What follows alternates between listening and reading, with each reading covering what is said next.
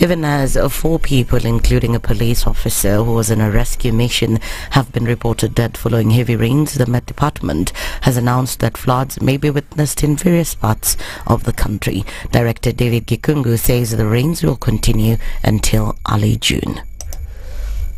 It is not just yesterday, I think even on uh, Saturday, if you notice, there were rainfall reports in quite a number of places. It's going to continue. We expect a break on Thursday. And uh, after the break, on Friday, we expect some parts to pick up again and to continue. Gikungu has also urged those living in areas likely to be affected by floods to move to safer grounds, further calling on farmers to take advantage of this planting season.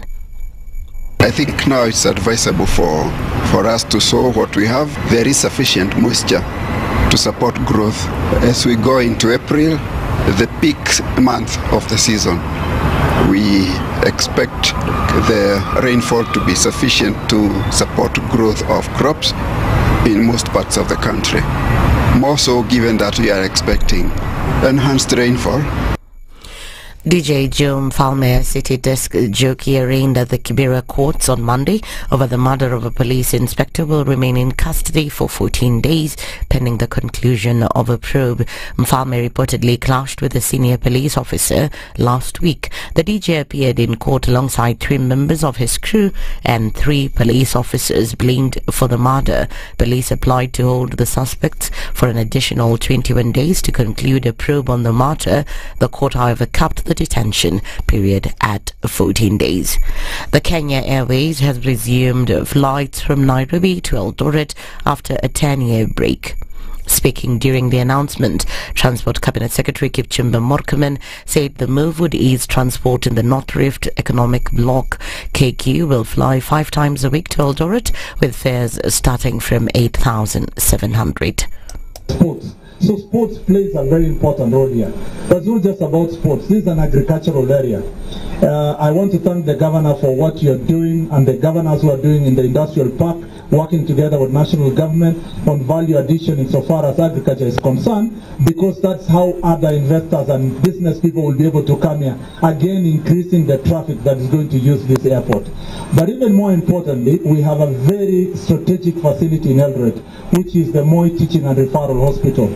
Many people don't know that one of KQ CEO Allan Kilavuka said the resumption of KQ flights in Eldoret marks a relief after the COVID-19 crisis that affected business. Tunasema tumeimprove. Unajua, tulisema kwamba tuliambia Wakenya kwamba watupatie muda wakati corona ilitushika. Eh, nde, you know, shirika la ndege liliumia liliumia kidogo, kwa hivyo ilihitaji ipate muda kidogo ili tupate nafuu kama shirika la ndege, na tulisema kwamba tuta improve performance yetu ikilingana na last year and the previous years, na tunaona kesho kwamba tumeimprove hiyo performance. Hatujafika mahali ambapo tunataka kufika, lakini tumeimprove significantly kutoka mahali tulikuwa. And finally, despite the government promising to investigate and take legal action against those suspected of distributing fake fertilizer, some farmers now want the government to as well compensate them for the money they used to buy the subsidized fertilizer. The farmers say the situation may disrupt this year's planting if the National Cereals and Produce Board, that is NCPB, rejects their request. Tulionyesha mbolea vizuri, mbolea safi, lakini kwa sasa ukiangalia zile tumepewa, tumepewa changarawe, tumepewa manyua. unatisa saa hii si ndio ni mzuri, alafu nipatie sisi mbolea ile mzuri. Sasa kusema njaa na kuvuza, sasa takuvuzaje kama hii mbolea mbaya? kuliko tuumiza wakulima wa namna hii eh? Heri turudishe tupewe mbolea safi au turudishie pesa yetu tununue kwa mahindi. That's the news wire. I'm Lea Ubaga.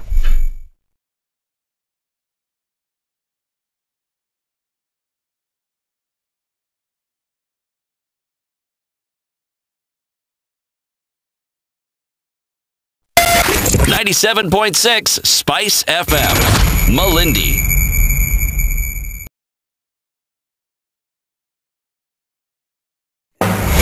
The following takes place from 6 a.m. to 10 a.m. every weekday on Spice FM. You tuned into Kenya's biggest conversation. My name is Ramanya. Amen. Amen. So now it's over? Yeah. Oh, yeah. Okay. It gets over Can you imagine you in 20 minutes. what the big boys have also done. I'm very proud of myself. When you understand about partnership in politics, it's like the way marriage is these days. When you're looking for a wife, you're like, oh, you know, maybe you can help me pay for fees as I pay for the rent. Why should you have a lioness living in your bedroom? I have to tell you a story. I went for a prayer meeting, which was called for the spouses yes. of candidates yes. for senators and governors. And when I got to the gate, the lady who was the, the security, she refused to. She's telling me, no, no, no. Leo tunataka wa mama. Leo ni wa mama. I'm telling her, no, no, no. She said, no, sio siku yenu. And I thought, there's a problem here, you know, because if it was a man, I would, but this was a lady. It will be called First Ladies until you change the name. The Situation Room, Kenya's biggest conversation. Good morning, and I love your show. Thank you. Having come from a Kikuyu radio background, I migrated to Spice because of the content. I was born in a slum, but somehow I got a break in life. So sometimes when you see the sweating coming out because of the passion and whatever it is, behind the noise, there are people, and we share the same umbilical cord. It shouldn't be like that. I am so disappointed. We used to tell uh, Honorable Raila Amolo Odinga that he's doing police of conmanship and even President Uhuru Kenyatta. Serikali hii ndio iko, iko na conmanship ya hali ya juu. You cannot promise people that you reduce tax then you double. In politics, mm. there is uh, the issue of trust. mm. For you to turn around and then stab the same people who gave you that trust, there is no other level of dishonesty. and hii mambo utaona dunia tu. The Situation Room, Kenya's biggest conversation. Patrick Lodge, Otieno Lumumba. Karibu sana. Asante sana. CT Muga. CT Lodge. Eh, Muga. Muga, not Muga. He is here and here's the day's proverb. One man marries a woman. Another man marries troubles. Is he the same man? Spice. A lion cannot eat more than two donkeys. It would die a natural death because there is no ICU in the forest. In Kenya, it has become the situation that you cannot conduct two elections. In fact, With the same Bukati, IEBC. uh, you, you can't. I told you about this Indian friend of mine who was uh, enjoying other Indians in the group. He wrote the word valve and told them, read it. So how did he say it? I really want to know. the valve. Because kina Edna, it's the, like you said, the bees and the peas. Kila kitu mkapo mkisia akisema atasema opposite. Opposed? Ukisema hii anasema opposite. Opposite. Wewe ukisikiliza namna hii unasikia opposite. The Situation Room.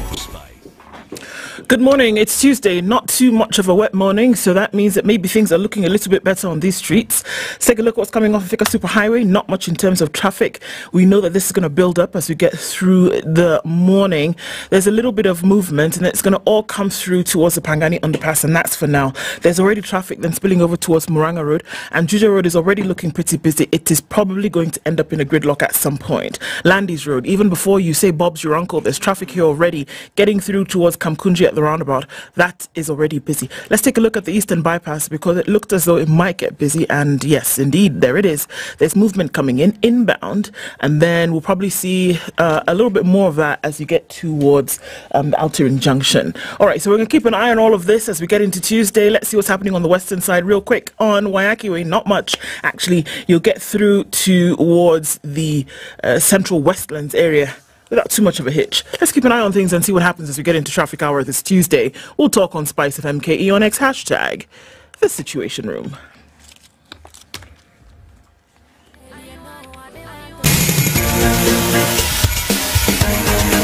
This is The Situation Room, the home of hard hitting political commentary and penetrating insights about the state of the nation. This is a talk radio experience like no other. The Situation Room, a place for hard truths, debates, and elevated conversations. The Situation Room, witty, political, engaging, deep, controversial. In the room, we have C.T. Muga, researcher, academic, seasoned political observer, a fountain of wisdom in these politically uncertain times. Ndu Okoh, Nigerian by birth, Kenyan by choice, communications expert, Pan Africanist, a truth seeker and believer in people power, and Eric Latiff, agent provocateur, the man in the chair, seasoned journalist, news hound, a man who believes in punching up, not down.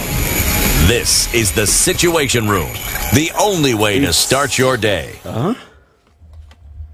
It's not Thursday. nice try. Hi. Allah. Where are you? Can you come back to where the rest of us are? It's Tuesday. Come back to where we are. I. Come back, darling. Give me another chance. Try. Hmm. it's a try. It's a try. And and do it. I'll keep you satisfied. Bas. Sindio. Bas. Do, do, do, do. Listen to the words of that song. Who? You. Me? I listen to the words of the song. Mm. I've listened now. Mm. And then do what? See, just listen to the words of the song. no, in fact, I've refused. I'm not listening to the words of that song. nope. Nope. How are you, though? I'm fine, thank you. Good morning. Very good morning to me. Yeah. did it rain in your neck of the woods? It did. Last night. There was a bit of a drizzle. It needed to because it was hot. Mm. Yeah, and I don't do hot. Well, in some circumstances. Okay. Others I normally do. Uh-huh. yeah, you get what I'm saying. I get what you're saying. Mm. I don't know whether it rained in my neck of the woods. Were you two asleep? Yeah, but I don't think it did. Uh, no, it actually it didn't. Mm. It did, did not rain. It did, not. Not It did rain. not rain. it did not rain yesterday. Good morning, everybody. How are you doing? Welcome to Kenya's biggest conversation. It's Eric and Ndu CT. Ako na 1212. So anaenda kufanya 1212. Then he'll be here tomorrow. Mm. God willing. Yes. Uh, so let me tell you what we shall be discussing anyway. Anyway. Dr. Magare Gikenyi, do you know him? If you do not know Dr. Magare Gikenyi, please, Know him. please know him. He's a doctor. He's based in Nakuru. And he is one man who is taking public interest litigation to another level in this season. Currently, for example, after the president signed the Affordable Housing Act, Gekeri Gikenyi went to court and he said, No, I'm challenging this law.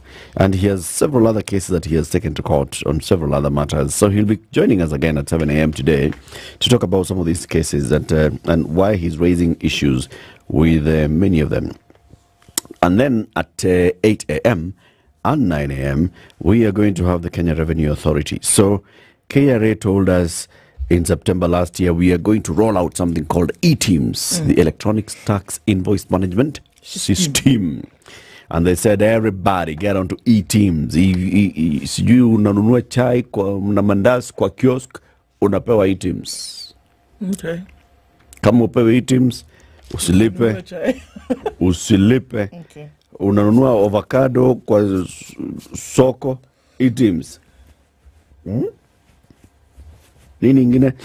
Unanunua nyanya e teams all those things and then they said uh, deadline is what end of december End of December. The end of december came even they did not know that it's end of december, Like, huh? Hiya, we had said oh no no no no no let's do this no let's this is march End of March. end of march Yeah. end of march when is end of march now End of March is Sunday. Bus. End of March is coming, and they say by end of March, Kenya Revenue Authority, everybody should be on e-TIMS. Now we've seen the conversations. The Deputy President was hosting avocado farmers the other day, and they were like, Where? Excuse. "Excuse, Mr. Deputy, hii kitu ya Haiwezi. hatuwezi." Eh, so there are questions here and there on how the rollout of the e-TIMS is, is happening. The manager in charge of e-TIMS at KRA will be with us at 8 a.m. She will be answering questions and we'll open up the phone lines plus all other platforms so you can raise your concerns. Especially last week, we saw some big thing. So it was tax, uh, I mean, VAT season, 20th, Mm. like it happens every month. Mm. Uh, you have issued an e-TIMS invoice. Um, you are reconciling so that you can now go and file your, your VAT returns. Yeah. Huh? Shockaroo on you. Why? Imekwa? Why? So the chief manager for eTIMS at KRA is Hakamba Wangwe. She will be joining us at 8 a.m. Get your questions ready and all your concerns. Is the live stream up? Yes, it is. It is, eh? Yes, it is. So we can do like that. Yes, we can. Okay, now that CT is not here, Mm. we don't have a proverb today. so now what happens? Who knows, man? We shall figure it out. Okay. it's 16 minutes after 6. Good morning.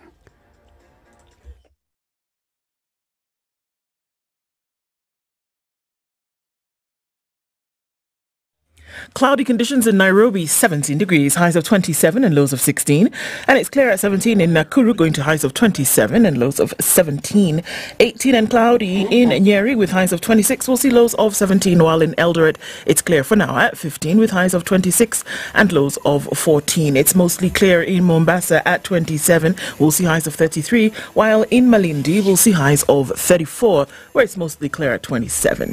Kisumu is partly cloudy at 21 with highs of 30, while in Kakamega at 19 it's partly cloudy with highs of 30. We'll see lows of 18. Clear conditions at 19 in Kampala with highs of 28, while Dar es Salaam is clear at 25. We'll see highs of 33.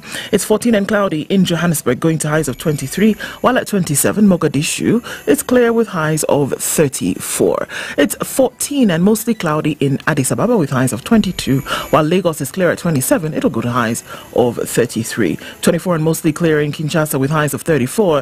And we're looking into a sunny Beijing Tuesday afternoon at 11 with highs of 19. It's 9 degrees and raining in Paris with highs of 12 and lows of 6, while cloudy conditions in London at 8 degrees. We'll see highs of 13 and lows of 6. Monday night in New York is 5 degrees and clear. Coming into Tuesday with a chance of thunderstorms, we'll see highs of 12 and lows of 2.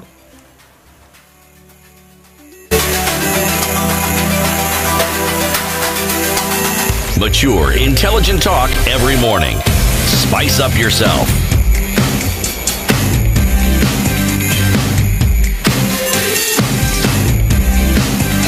Mornings done right. 94.4 Spice FM, Sarah Nairobi. just wakes up and says, Sour too. okay. Why? What's Hivyo going tu. on? Wagwan. Hayai. Ni ni ni. Hayai. Tell us. Roberts, uh, Rogers Nyange says, Good morning, tuned in from Sagala Taita. Hey, Sagala. Just for Moirori says, Good morning. When spice roars, you know the day is already spiced to a height of greatness. Good day, my people. Well, good morning to you. Robert is tuned in from Mombasa and says, Good morning. Kelvin Kaburu says, Good morning, tuned in from Kahawa Sukari. I always wonder, why is it called Kahawa Sukari? Sijui. Kuna kahawa ngapi? What? Sukari is sugar, Mm. isn't it? Mm. Okay. I don't know why actually. There's kahawa sukari, kahawa wendani, and Yeah. kahawa west. Okay. Kawa is coffee. Yes, sure. There are three coffees. Yeah. Yeah, you need three coffees to get through the day. Okay. Just Probably it was a one big ranch, Mhm. and then now depending on who had bought it. Yeah, The then they groups, split it. The, the, the groups that came and bought it. Maybe there was a group called the Wendani Group, and then they bought a chunk of the kahawa Wendani area. And a group called themselves Sukari, and they bought the Sukari part of the ranch. And then the others were West. Maybe it was West. It could have been. Who knows? Kahawa West. Kawa waste. You're silly, but okay. Even and Tabo says, Good morning, everybody. Please invite the CS. Tell us what's happening regarding the D- the doctor strike. Well, The Director General of Health will be joining us tomorrow, actually. Mm. Eh, amesema hata kukuja kusema hiyo maneno. okay. Mm. We will wait We will. and see. Yes. Sawa sawa. Yes. John Mwangi says, Salam alaikum, guys. Wa alaikum salam, my dear. Joseph Makua says, Good morning, tuned in from Merille, Marsabit County. Good morning, big team, tuned in from NJPA, uh, New Jersey, Pennsylvania, driving home while listening. That's Mogere Kinara. Onganyi Malala says, Good morning, everybody. Ndu, CT, Eric, Edna, Yego, tuned in as usual. Invite the CS for agriculture to, to shed more light on fertilizer. Kwanza hiyo. Hey, where? Eh, Fake fertilizer. I don't know fertilizer that grows beans instead of maize is crazy. mm. That's a good idea, actually. Jimmy Munuthi says, Good morning. Um, morning walk made easy by listening to Spice FM. Good morning to you, Karibu Sana. Joseph Nderi is tuned in this Tuesday, waiting for CT's proverb. Today it'll be Eric's proverb. Rural Karaoke is tuned in from Canada, London, Ontario specifically. Hey, so many people online this morning. KK. John Mugai is tuned in from Washington State and says, Jamboni. Jambo jambo. When are we going to have affordable housing? okay, sour. It's happening. Can't you afford it? Really? Mm-hmm. Ken Corriere says Hamjambo looking forward to a day wale wanasoma habari sura zao zitaonekana. Huh? Kama kina Leo, Lea or what? Did I get it wrong? Sijui anasema nini mimi huyo Okay. mtu. Huyo mtu. Ehe. Moving along swiftly, Hilary Chariot says, Good morning from Molo. Good morning, people. Please, would you bring the ISPAC chair at Siamo? Uh, Patrick Waishigo says, Good morning, Spice, and all Kenyans. Um, we see you. And also, big up to your son, Caden. Samuel Muravi is tuned in from Koroi, Ngotarangai. I've been there. Jurist Tiriwa says, Good morning, Waku. Sir George Gashoriri is tuned in listening. Evans Langat is also tuned in. Hey, Meshak Jenga is tuned in from Canada. Rose Grace is tuned in from Damu. Margaret Wanjohi this morning is tuned in from Texas. Dante is tuning from Kuwait to Salmia. Joseph Ondigi says, Good morning, Kisi Ningwe. Nelson from Peterborough says, Hi, Spice team. And the Common Fox, the heat is up in the Seychelles, ready to spice up the morning with Spice FM. Alrighty. Washo Gatoto, tuned in, says, has Have a blessed day. Live from Kibwezi. You guys are great. Well, thank you, sir.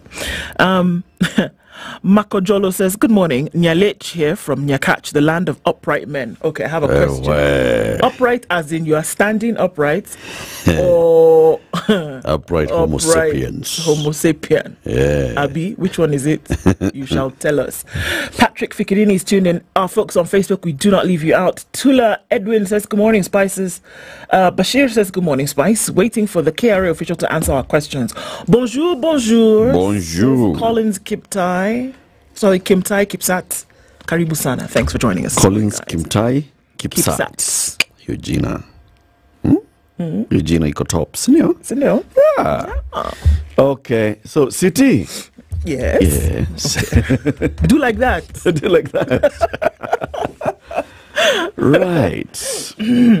Our proverbs for the whole of this week are from the island republic of Mauritius. Well done. Okay. Uh-huh. Okay. Whose capital city is? Who knows, man? What is it? Port Louis. That one. Okay. Ah, yeah. And the president is? Ah. Must be one of those. Thank you, Mr. names. DJ. I don't know.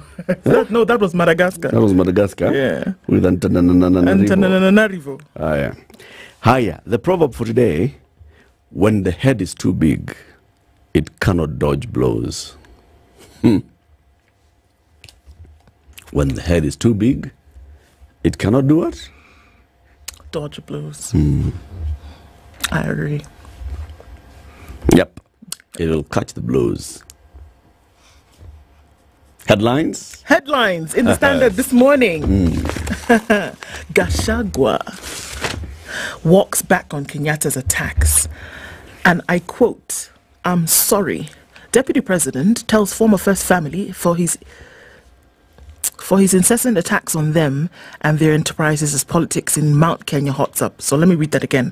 He basically says, I'm sorry. Even as these things are happening, he's saying he's sorry. I tender our apologies to Mama Ngina and ask her to forgive us like her children. It was political bad manners and it shall never happen again. Where, where?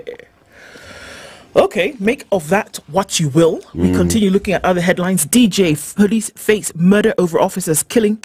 Celebrity DJ Mfalme and police officers were yesterday arraigned with the DPP saying they will take a murder plea after a man they allegedly fought with died. This was a hmm. shock.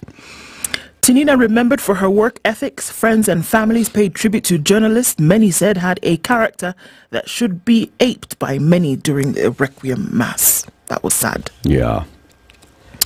High Court throws out Njeri's 17 billion shilling diesel case. Well, surprise, surprise. Taxpayers' pain as state drags its feet. Which pain exactly? We'll look at that. Mm-hmm. Workers at Lavington Chalbi Drive removed debris from a house that was flooded following heavy rains on Sunday night. Dagoretti MP Beatrice Elachi blamed the Nairobi County government for f- giving approval to buildings near or on riparian lands. This is not going to be fun in the next couple of days. If the rain continues in the manner in which it came down on Sunday and the manner in which the meteorological department is telling us it will in the month of April, we are going to have many, many more things like this happening. It is not going to be pretty. Just a warning, but that's what it's going to This is Chalbi Drive. Yes. In Lavington. Yes. Andrew Franklin, are you okay? Are you okay? Yeah. Wolololo. Wololo yeah yeah. Mm. It's not it's not pretty at all. It's You want to start with that story, or which one do you want to start with? I can start with that story actually. Eh. It's carried on page. T- eh, Am I lying? No, I'm not lying. Now, Hmm. City Hall blamed after rains caused destruction. Heavy rains pounded Nairobi Sunday night, leaving a trail of destruction. Roads were blocked, houses submerged in water, and many businesses interrupted. Transport was yesterday morning temporarily affected on the Nairobi Expressway and Enterprise Road due to floods. So, Enterprise Road was the lake basin. You know, there's no road in, on Enterprise. eh? There's no road. Let's just say Enterprise is an idea of a road. It's not a road. Enterprise Zone. Eh, Thank you. it's not a road. I don't know what's. It's masquerading. This thing has been going on for over 10 years. 15. 15 years. Enterprise Road has not been completed in 15 years. Right now, there are some huge boulders in the middle of the road, and they're trying to divert you going one. You never know which way you're going. If you're coming in this direction towards Mombasa Road, you have to cross over to the other side, take the wrong lane to then be able to make the turn, and then find your way to Road C, A, B, whatever. And we have a Kenya Urban Roads Authority. There's a sign of Kura on site. Kura on site right Oh, there. God. There's a sign. It's ridiculous. It's ridiculous. And there have been trucks parked there for donkey years, yonks. It's just madness. So now imagine all those gullies. Yesterday, it was And you know, ridiculous. when they started the construction of that road, it's because money had been allocated for this road. Yes. Okay? Mm. It came in, whether it came through the, the, the road maintenance levy or it was a budgetary allocation, whatever. But the Kenya Roads Board put it there as one of the projects Mm. to be implemented by the Kenya Urban Roads Authority. Mhm. Kenya Urban Roads Authority goes into procurement Yeah. and awards a contract Mm. and says start because they have money, Money. allocated. And there's contractor on? 15 years. Yeah. And right now, uh, um, before Christmas, there were some trucks. They came and pretended to do something, you know, dug up, dug up, dug up. As they dug up, they now left. One truck was even parked on the road permanently. If you used Enterprise Road for maybe the month of December, Eh. that yellow excavator was just Like parked stuck in the middle of the road. Tafuta njia. Not Fly. moving, nobody. Do what you need to do to get where you're going. Kim- eh, Kenya. Let me tell you more about this because you now it is raining. Yes. A police officer identified. Now, motorists were trapped in traffic jams on Lunga Lunga Road, Peponi Road, Baricha Road, and Jogoo Road, among others. A police officer identified as David Chesiri lost his life while trying to save lives at least of at least four people in Kamkunji. Oh, no. Yeah, that was Oh, yesterday no. morning. Other affected areas are Kangemi, Mukuru wa Reuben and Mukuru wa Njenga, Kware, Viwandani, Kayole and Njiru. Along Chalbi Drive in Lavington, residents were marooned in their homes as floodwater poured in, causing significant damage. Dagoretti North MP Beatrice Elachi, who visited the area, blamed illegal buildings constructed along riparian land. Now, you might think that this is just something that she may have been saying because she didn't have anything to say, but picture this. Riparian land means that what it offers in some cases is it's either a road reserve or that it offers an off-flow for things like rainwater. Mm. So if you go and build, there is nowhere for this water to go. Yep. So you essentially are building a dam. You've Yep. created a dam right in the middle of where there's habitation. Yep. So if it should rain, there's nowhere for the water to pass through. The offlows that were naturally there have been constructed on, so people basically are flooded in. So there's 100% sense in what she's saying. She says there is a neighbor who was given approval to build concrete on top of a whole line that carries water from the other side to the river. You cannot control water. It is natural. Mother Nature will fight back. If you block it, it will find its own way. And that's what happened last night. The floods also hit um, Karatasi Products Limited in industrial area, causing losses. Vincent Mbalu, the company manager, blamed individuals who were encroaching on riparian land along the Ngong River. He accused the Nairobi City Council of failure to keep waterways clear despite having raised concerns with the authorities. He said there are individuals who have tried to reclaim land from the river. The soil and whatever they have put on the riverbank is also blocking the water from having a free way to pass. We have a Nairobi River Commission or something like that. There's something like that. Right? There is, yes. Uh, Um, and the county government of Nairobi Mm. is the one that gives all these approvals Yes, and is the one that is in charge of enforcement. yes. But they simply are unable to enforce. Or unwilling. Decide which one it is. Unwilling or unable. Take your pick. This is just, it is, you know, What value do you place? I keep asking that question. What value? Where are your priorities? How much more destruction do you need to see in order for you to do the right thing? How much? How much? What's enough? What's the scale? 1 to 10? 1 to 100? Where are we? 80? 99? What is it? What's needed? what really pains me is when we put these ones in the story. Areas affected Kangemi, Mm. Mukuru kwa Reuben, Mukuru kwa Njenga, Kware, Viwandani, Kayole, Mm. Jiro. Mm. The extent of the devastation in those areas. Because there's no road, there's there's nothing, there's no drainage, there's nothing. There's nothing. You will find there is nothing. And then there's and those are the areas I tell you, where children sleep standing up Yes. Because it's raining in their house and the water is flowing into, Into their, their house. house. So there's water everywhere. And adjacent to their house is huge heaps of garbage, Yep. for example, that has never been removed. So if anything, that water is being encouraged to come inside because Yep. there's no way for it to flow out. And then they become a statistic. They become a list. Yeah. They become part of a list. And we come here and we say, okay, these are the areas that are affected. One, two, three, four, five. The people in this area just don't know. We're looking at a whole month of April. They just do not know what they're going to do. Oh my God. The children in these areas cannot play anymore. They can't play outside. They can't play inside. They don't have a school to go to. Have you tried sleeping standing up? And then there's water on your feet Eh. up to your knees. Eh. You can't even sleep because you don't know whether the roof is going to cave in on you. It's this is a very, very, very. Anyway, I agree with Beatrice Elachi here. Hmm. This one I agree. it's City Hall. Yes, yes, there's a failure here. Yeah. Yeah. Let's take a break. 27 minutes to 7. Let's see what's happening on the road this morning.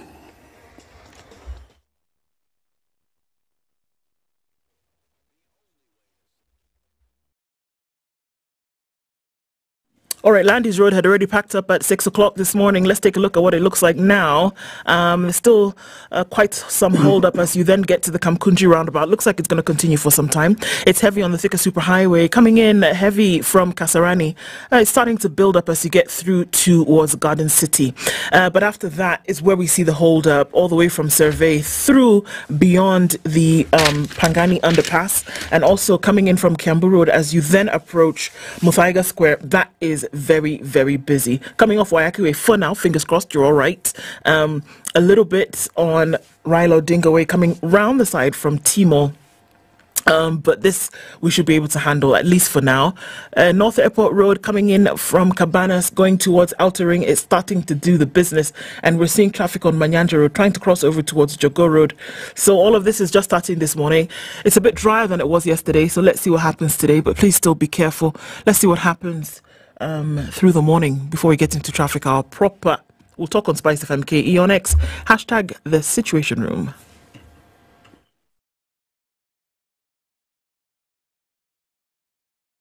Mature, intelligent talk every morning. Spice up yourself.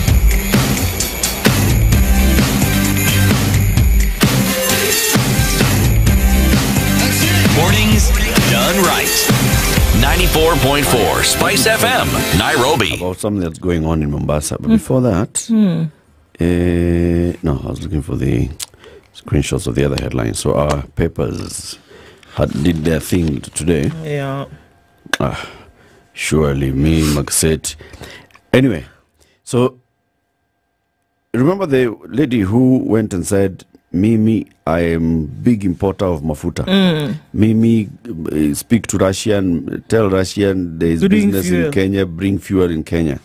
And Russian says, money here, fuel there, bring, take Kenya. then she says, fuel arrives here, pipeline gives it to Galana. mm. And now she was complaining. When she went to complain at DCI, DCI uh, kidnapped her. And she's like, For, from some like 48 hours or something. No windows. blah, surely, blah, what is yeah. this thing? Mm. That lady is called Anjeri. A case went to court in Mombasa.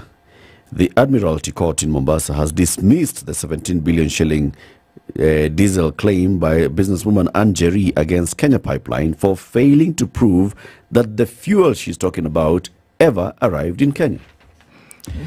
Justice Kizito Magare said diesel consignment EN 590 never arrived and was not aboard motor tanker Haigui, and the cargo the claimant and defendants were fighting over was not the same. Last year, Njeri hit the headlines after she was allegedly abducted by security officers at DCI over the importation of the 17 billion shillings diesel. Galana Energies Limited and Aramco Trading Fujairah had laid claim to the 100,000 metric tons of the said diesel. Njeri filed a case at Mombasa High Court on October 8 last year and successfully stopped pipeline and the KPA from offloading the diesel from the ship. Justice Kizito issued a warrant of arrest against the vessel, barring it from leaving the port, and also stopped the discharging and offloading of the said oil. Now, he says, after informing myself of the facts, I am of the considered view that there is nothing to go on trial. Diesel EN 590 never arrived and was not aboard the motor tanker Haigui. This is a proper case to strike out. It cannot be saved by amendment or otherwise. This one, he imeenda. For that, Njeri will, will incur a 21,700, no, 21.7 million shilling cost towards striking KPA name out of the suit and a further 22.4 million to Galana. Sijui kama umeshika. Sijashika hiyo. She will incur 21 million 780,000 shillings costs Why?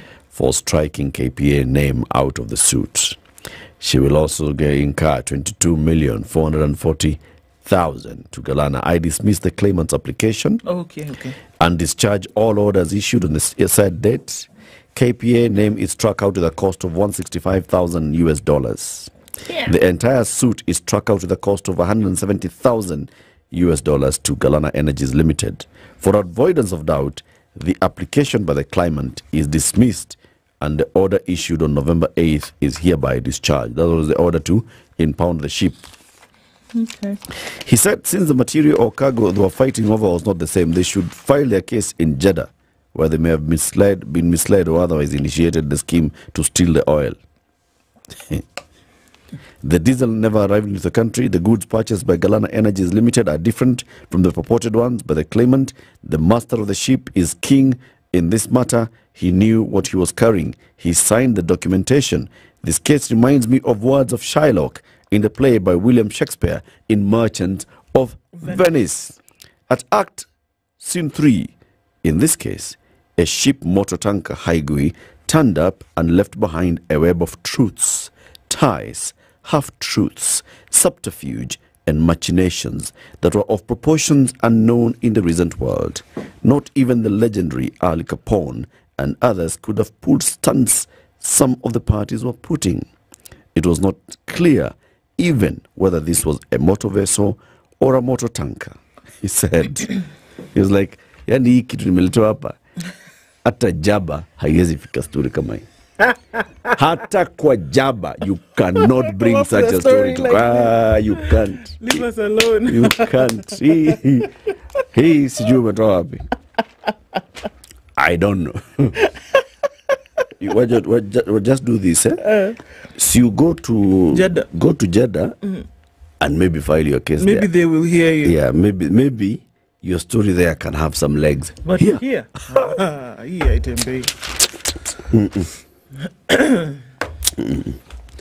Eh, Another court case. Okay. But now let me tell you. Okay. State to press murder charges against DJ over officers killing. Okay, so this was bizarre, but it happened. Let's tell you the director of public prosecutions, Renson mm-hmm. Ingonga, yesterday reveals that the state intends to press murder charges against disc jockey Joe Mfalme. During the hearing for an application to detain DJ Mfalme, whose real name is Joseph Mwendwa Munoru, um, Ingonga, through prosecutor lawyer um, Lawrence Mutune, said the investigation will determine whether the DJ and six co-accused were responsible for the death of Dagoretti Deputy Sub-County Criminal Investigations Officer Felix Kellyan Kintosi. Mfalme's employees Alan Ochieng, Eric Karaoke Gathua, and Simon Wambugo Wanjiro, together with Kikuyu Police Station based officers Khadija Abdiwako, Sabdi Cheriot, Sami Cheriot, uh, Rotich and Agnes Kerubo Mugoi appeared before Kibera magistrate Margaret Murage. Mutune told the magistrate that investigators need 21 days to detain the seven since the probe was complex. I know you have reservations about that. I'll, I'll allow you. I'll allow you in a minute to BS. diffuse. The head, the lead investigator, Frederick um, Kosen, told the court that Kellyan's death was reported by his brother, Reinhard Kintosi. Kellyan was involved in a slight accident while driving along Kikuyu Road opposite Kikuyu Police Station. Okay? Mm-hmm. After the accident, there was an altercation where Kellyan was allegedly beat up by the DJ and his employees. Wako, a traffic officer based at Kikuyu Police Station, visited the scene and found Kellyan being beaten. Mm-hmm. Kellyan was taken to Nairobi West Hospital on March 16th, where he was admitted with lower abdominal pains, and then he died on March 21st. The two, the other two police officers arrested were Sami Cheriot Rotich and Agnes Kerubo Mugo- Mugoi, who were desk reporting officers at Kikuyu Police Station on the day the victim was reported to have been beaten. So they, it's all now. This is what the investigation officer is saying. Yeah. So, so, so, so, so there's an accident. Yes. And so there's an alleged altercation between the two people involved in the the accident, the, two parties involved. Yes. So there's this um, DCI officer, Mhm. and then there's the DJ and his people. And then a police officer comes and finds that these people are being beaten. One person is being. Yeah, this beaten. one person is being beaten. Mm. But now we have taken into custody the police officers who are recording statements at the police station. Yeah, remember this happened along the police station, right? Kikuyu Road, the police station is adjacent. But these guys are at the desk. Yes, they're inside now. So what we are not being told at this moment is what occurred between the accident having been having taken place, the alleged beating that was taking place on the road, and then when people left road and proceeded to police station and what happened there. Was this man taken into the police station after having been beaten? What happened? Did they take him directly to hospital? Who recorded the statement at the desk? Was there a beating? Who recorded the statement at the desk and what exactly were they recording? What was being reported? What did they here? write? What were they writing? Yeah. Who was beaten? Who was brought to the police station? There's already holes in this, and you don't even know what. This is a very clear case, Ndu. I Mm. mean, for cops who do investigations on a daily basis, it's a very clear case. What was the situation? So you wrote, you reported this and the other. Okay, at what point was this person released? Did they take themselves to Nairobi West Hospital? Who took them to Nairobi Did they? Hospital? Yeah. How did they end up at Nairobi West? I mean, at 21 days to hold people in custody. Because it's complex. Let me tell you something hell. else. I also intend hell. to take the accused to Mama Lucy Hospital for mental assessment and forward the investigation file to the Director of Public Prosecutions for determination of appropriate charge to be preferred against him. This is police attempting to do a cover up on a case. Do you remember a couple of weeks ago Yeah. the case of the gentleman who was taken from Nairobi West and then mm. found somewhere a couple of days Yep. later Yep. in Lukenya? Mm. It didn't take 48 hours for police to connect the dots, trail it here, here, here, find out, let's go. They were sure of what they were doing. Here, it's clear that we are shooting in the dark. Uh, mpaka we We need to make something mental stick. assessment. They- That's why I need 21 days. This is such such BS. And we don't know what happened. Why would why do magistrates and judges allow this nonsense from police officers? I want to hold them for 21 days. Ask why. For what? What it is that you would like? So so it that you'd okay, like so so how did you get to arrest these people? We summoned them to come to the police station and we arrested them. So you summoned them and they came, yeah. And they've been in police custody since then, yes. So why do you need 21 days with them in custody? Are you hoping that they're going to poop the evidence? What is it? They'll admit to it. Admit to what? What exactly are you looking for? Because even if they admitted, they could admit from wherever they are and come and record a statement. Unless you're saying that there's something that they have ingested that is evidence and you're waiting for them to poop it. it. So then you can say, DOE, This is what we're waiting for. Yes. And we needed them to be here in order for that to happen. why do you need to keep people in police custody for 21 days? And I keep bitching about this. DJ Joe Mfalme, I know this guy. Mm. This guy, violence on this guy. Mm. Ngumu sana. Mm. I cannot say that I know what happened, the circumstances of this particular incident on this day, but I'm looking at him and thinking, good gracious God. So, How? okay, so you have a case to take against J- Joe Mfalme. You have an investigation. It's Mm. okay. It's okay. Must somebody spend 21 days? I imagine any of us Ndu, can be involved in something like this. and the next thing a cop is saying is, I need to hold you for 21 days. Can you imagine you looking? No. Think about your children. No, I can't. I. And now suddenly you are in police custody for 21 days. The entire neighborhood's doing what on No earth way. is all this nonsense about? And you can't run away from the element. This is very important here. The person, the victim here, who passed is a police officer. Yep. You can't remove. You cannot remove the importance or weight of that particular piece of information. So what are we looking at here? That a police officer was beaten and killed, and Yep. so we must make something stick, and it must stick really fast. Yeah. And it cannot be police officers who are involved. this. It doesn't look good here. Uh, no, no, no, no, no. No. I would be interested to know what they actually do come up with. Yesterday was day one Mm. um, after arraignment in court, Now 21 days for them to. and I hope, And Eric, because that thing you're talking about, 21 days will come and go. If they don't find anything, they will release with an apology, if that. There's no apology. There's no apology. We're they will just release as they carry on. Yeah. The DPP, who has gone to court to say, I intend to file murder charges against all these people, has not even received any file. These are police basically saying, we'd like to hold some, we are in the middle of an investigation, we'd like to hold someone. Hmm. Why are you detaining someone for 21 days? What's the magic of 20? Why not 23? Why not Why 15? 19? Why not 4? Why not 2? Mm. Why? Why is it that every time police are going to, to, to court, they're asking for 21 days? Ah, Hapana. Hapana. Uh, uh, hapana. Yeah, it doesn't look good. Our DP, Rigathi Gachagua, is yeah. seeking forgiveness from Kenya's first lady, former first, first, he's Kenya's first, first lady, Mama Gena Kenyatta, over political transgressions against her family.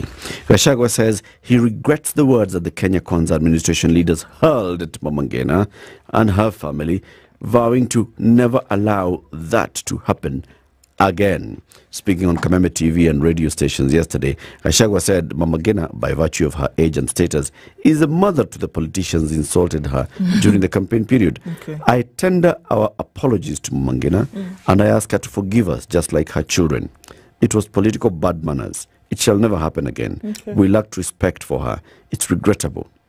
24th of April last year, in one of his tirades against the former First Lady, Gachagua himself challenged her to divide half of the Kenyatta family land and share it with the children of Mau Mau, who he claimed was quarters. This was after Mama Ngina met freedom fighter, the late Muthoni Kirima, Field Marshal. I was so happy yesterday to see people saying that they are thinking of how to help the Mau Mau, even if they have never helped them since 1963. It's still not late because Mau Mau and their descendants are suffering. He said, All we are asking is for them to help the Mau Mau in a meaningful way. All the land they took from the Mau Mau, let them return to at least half of the parcels of land to the Mau Mau and their children, including myself. Did he say that? Wait, did you just add it? Yeah, no, no, he said it. I'm you know, he has always said he's the son of Mamau. Okay. Okay, I've seen it actually. So he said, tupewe mashamba. Hata mimi. Hata mimi, unajua. Now, yesterday, while offering himself to revert the river back to its course, mm. Gachagua said he was aware that such campaign excesses were, m- where mothers are demonized was against Kikuyu culture, and it would not attract blessings, but a curse. He said he's in the process of changing the region's political discourse. Mm. In a sudden change of tune, he hailed former President Uhuru Kenyatta, referring to him as our son, Wow. and President Uhuru for his contributions to the country's development agenda, Okay. and disclosed that he had declared directed all Mount Kenya leaders to stop attacking Uhuru and his family. Former President Uhuru Kenyatta is our son. Mm. We worked together mm. for 17 years, and we only disagreed for two years. Okay. Now that's the past. Mm. I pray for him in his retirement. Mm. Uhuru is one of us. We are reaching out to everyone. Okay. you know what? I never experienced it. I didn't. But you know what? Kudos to the man. I have to say, look, I think that you, you eat humble pie and you mm. apologize. However, yes. you cannot run away from the possibility of a political play here. Yeah. You cannot divide the two. The fact that he chose to actually give an interview to Yeah. Kameme TV and Kameme FM. Yes. And he said and these he words. said this there. Ah. Ah, my friend. In as much as an apology in all its humility is welcome, Yeah. you know, it, it looks good, of course. It does a lot for you in terms of sanitization Mm. of your political outfit. Fantastic. How, and even maybe you as an individual and things you may have uttered before, Mm. it does great things for you. Welcoming a mother, welcoming a brother, our son, etc., etc. However, we cannot but read, you know, politics into this. It has a political sway. Mm. You can't walk away from it. You never know what's coming up in the future. And he's laid the ground. He's told you, after all, we buried the hatchet. Yeah. We've smoothened the ground. Now let's start No, again. we are same people. Yeah. We are children of the same mother. hmm Haya. Okay, so life sentences, life sentence, or even, and there've been a lot of. Uh, there's been a lot of chatter after the last uh, big case that we saw when the death sentence was handed down. And there's a lot of been there's been a lot of judicial chatter like should this have been the case? Why do we do that? Has it not been abolished? Etc etc hmm. now another judge has joined judicial voices calling against life jail sentences. Hmm. This is different of course but it's just that now there's a lot of discourse around what should we or should we not do. High court judge nixon sifuna has joined judicial voices seeking a change in sentencing persons to indefinite jail terms. Professor sifuna in his judgment in an incest case argues that life sentence is unconstitutional for being unclear when one should leave mm-hmm. for life, for life. We jail you for life until you die. What exactly are we trying to say? Court of Appeal judges Pauline Nyamweya, Jesse Lessit, and George Odunga, Justice Sifuna has also ruled that life sentence is equal to death sentence, as freedom is guaranteed only by dying. According to Sifuna, the purpose of a sentence cannot be achieved as one may enter one may either die a day after sentencing hmm. or live until late in their life. Hmm. Sifuna is of the view that it is impossible to complete a life sentence unless death interrupts it. The death sentence and a life sentence are the two sides of the same coin in terms of their severity and permanence, save that one is a terminal one while the other is not. One of the most common denominators in the two is that one sentence, the convict is permanently deleted from society and will never return to it, mm-hmm. except through perhaps a stealthily escape or daring dash in a prison break, such as happened recently in Haiti uh-huh. which action is criminalized and is a punishable offense. In the case, Sifuna ordered a man codenamed JNN to serve 10 years in jail. The man was accused of defiling his 10 year old daughter in Murang'a in 2017 and was sentenced to life. Aggrieved, JNN filed an appeal challenging the conviction and the sentence. Now, Sifuna is not a lone voice in the growing number of judicial calls for change in the penal code. It is the fourth time that the court is finding that life sentence is unconstitutional and hmm. lacks dignity. The first case to call for change on how courts were sentencing capital offenders and those convicted of defilement was by judges Nyamweya, Lessit, and Odunga. The three agreed that it is unfair to outlaw mandatory death sentences only to order a person to remain behind bars until they die. For them, they're saying it's one and the same thing. If we're saying that the death sentence has, has been outlawed, we cannot then say you will live in jail for the rest of your life. So death and life Death sentence. sentence and if- life imprisonment. If death sentence is wrong, so is life, life imprisonment, imprisonment. is what they're saying.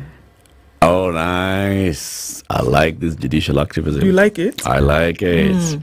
I like it. So, yes, the Supreme Court already told us Mm. death sentence. Uh-uh. Uh, now, there's a new argument, actually. Mm. It is. It actually is. And now, when you think about it, So, basically, what the judge has reduced this is to the mandatory minimum. The mandatory minimum for 10 years. defilement, 10 years. 10 so, I've given you the mandatory minimum 10. yeah. Mm. Mm. What? So, according to them, the purpose of jailing a person is either to deter, rehabilitate, denounce, or retribute for the offense committed. Yes. You should be there to learn your lesson. Yes. So that you can come back into society and one would hope, pray, cross that you will that never you've reformed do this and again. now you shall live your Yeah. life properly. Now they're saying that a life sentence should not mean th- the natural life of a prisoner. Should be. It should be. We are equally guided by this holding by the Supreme Court of Kenya.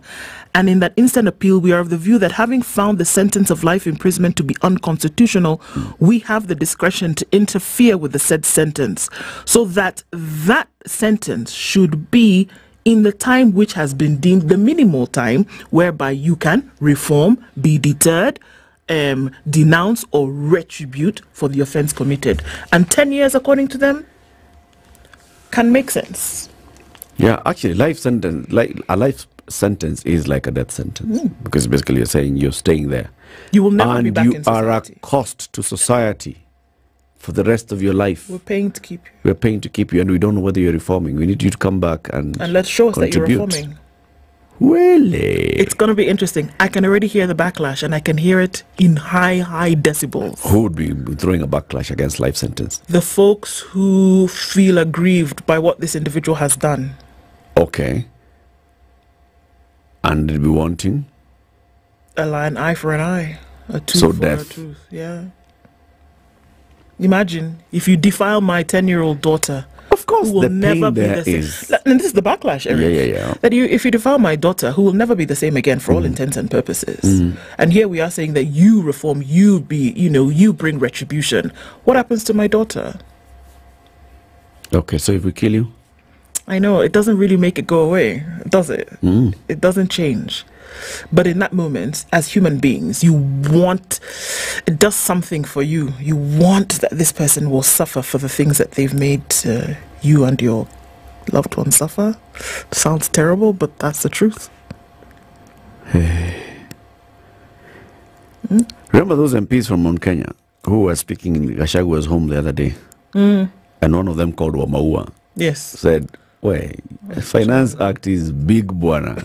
you expect me to sit there to reading the? An MP is busy. It's like the Bible. An MP is busy. We have things. I cannot read at the whole Finance Act and see, oh, avocado has been mentioned, oh, milk, oh, sijui, oh, widhara, oh, yeah. no, Ah, come on. So we just pass it. Now, NCCK is criticizing MPs from Mount Kenya region who confessed that they did not understand some of the provisions of the Finance Act. NCCK Nyeri County Chairman, the Reverend Patrick Kimathi, termed the Kenya Kwanza leaders as failures. Why? Failures. Why? And urged Kenyans to gauge them wisely in the next election. He said it's a major concern for us when MPs in our areas come out to confess that they passed a law without reading it. We elected them to review and pass laws. This confession means they have failed in their main duty. This is something that we will encourage voters to consider in future elections. This is it. Molo MP Kuria Kimani, who's the chairman of the National Assembly Finance and Planning Committee, eh, accused KRA of misinterpreting some of the clauses of the Finance Act eh, that he passed. I want to tell KRA that I understand every clause of that legislation, I believe, Kuria Kimani, because I was the one who had led my fellow MPs in endorsing it in Parliament. There is no proposal in the Finance Act meant to impose tax on avocados. This avocado has really riled you people, Abi. Ah, avocado.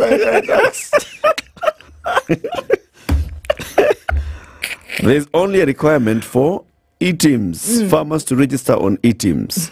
the aim is to net unscrupulous traders who've been importing avocado into the country and pretending to be local farmers to a very, We are not at saying that you register so that now avocado farmers can. No, no, no, no, no, no. Mm. Anyway, it's news time, 7 a.m.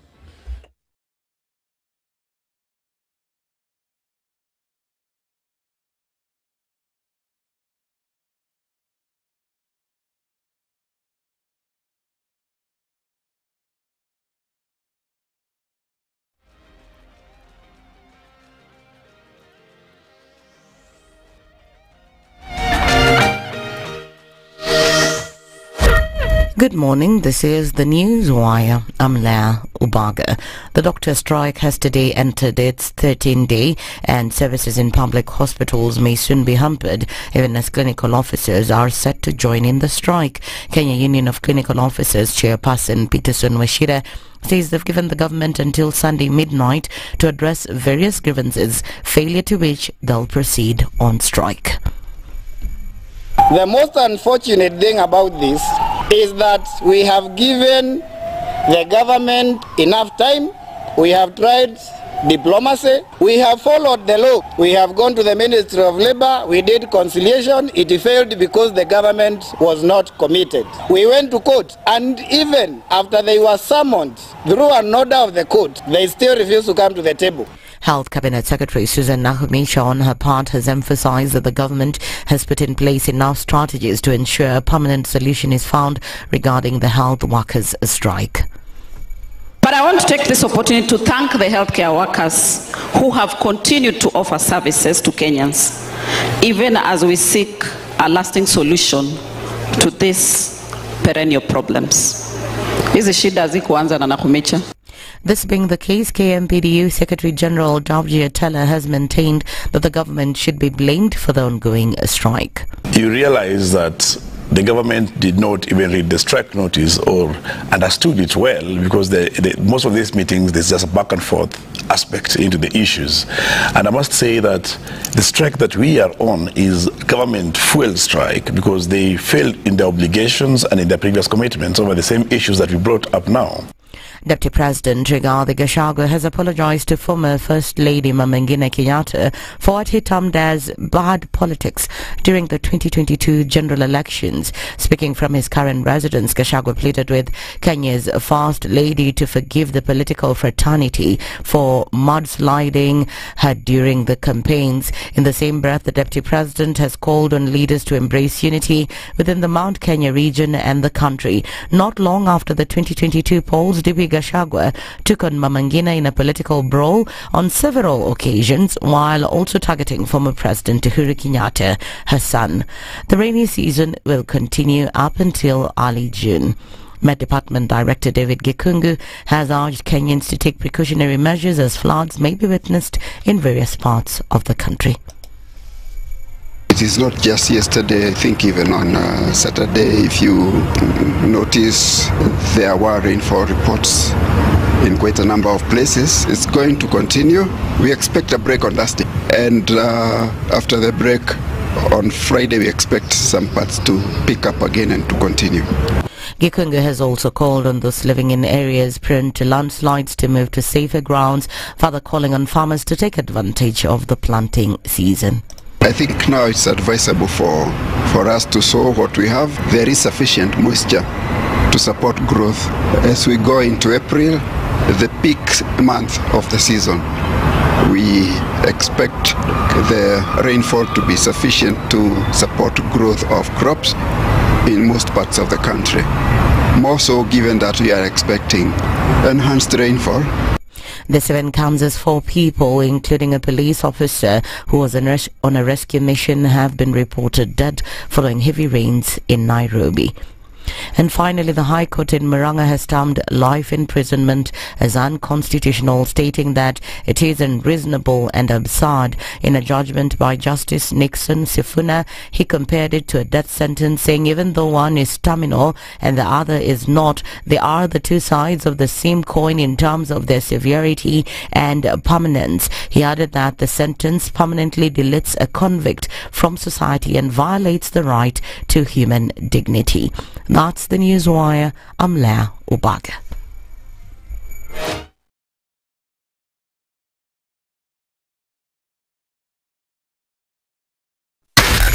Spice FM, Nakuru. All right, a few minutes after seven o'clock, traffic hour is beckoning. In about 20 minutes or so, we'll get into it proper. Um, this is Jogoo Road, and it's very busy as you're getting into the city. It's also busy coming in from Donholm, and this is on um, Savannah Road today. Very, very busy traffic. Let's just look up Manyanja Road doing the same thing, and then also coming in from Kangundo Road, just at the junction, it's very busy as well. Juja Road traffic as you cross over. Um, um, you cross over outer ring getting then into the city that has also started to build up. And you just keep going north and then keep going west after that. It's busy on the Thika superhighway it's busy on Kiambu road. And we're going to see the build up on Limuru road in no time. Second first rather first second third fourth fifth Parkland avenues are all trying to get onto Limuru road this morning. And it's already looking crazy. State House road then going through towards Arboretum and then out towards Chiromo. Guess what? Busy as well. Landhies was busy even before you woke up. So that's what Tuesday already looks like, and we're not even in traffic hour proper yet. We're going to keep an eye on things and see what it pans out to be. Let's talk on Spice FMKE on X hashtag the Situation Room.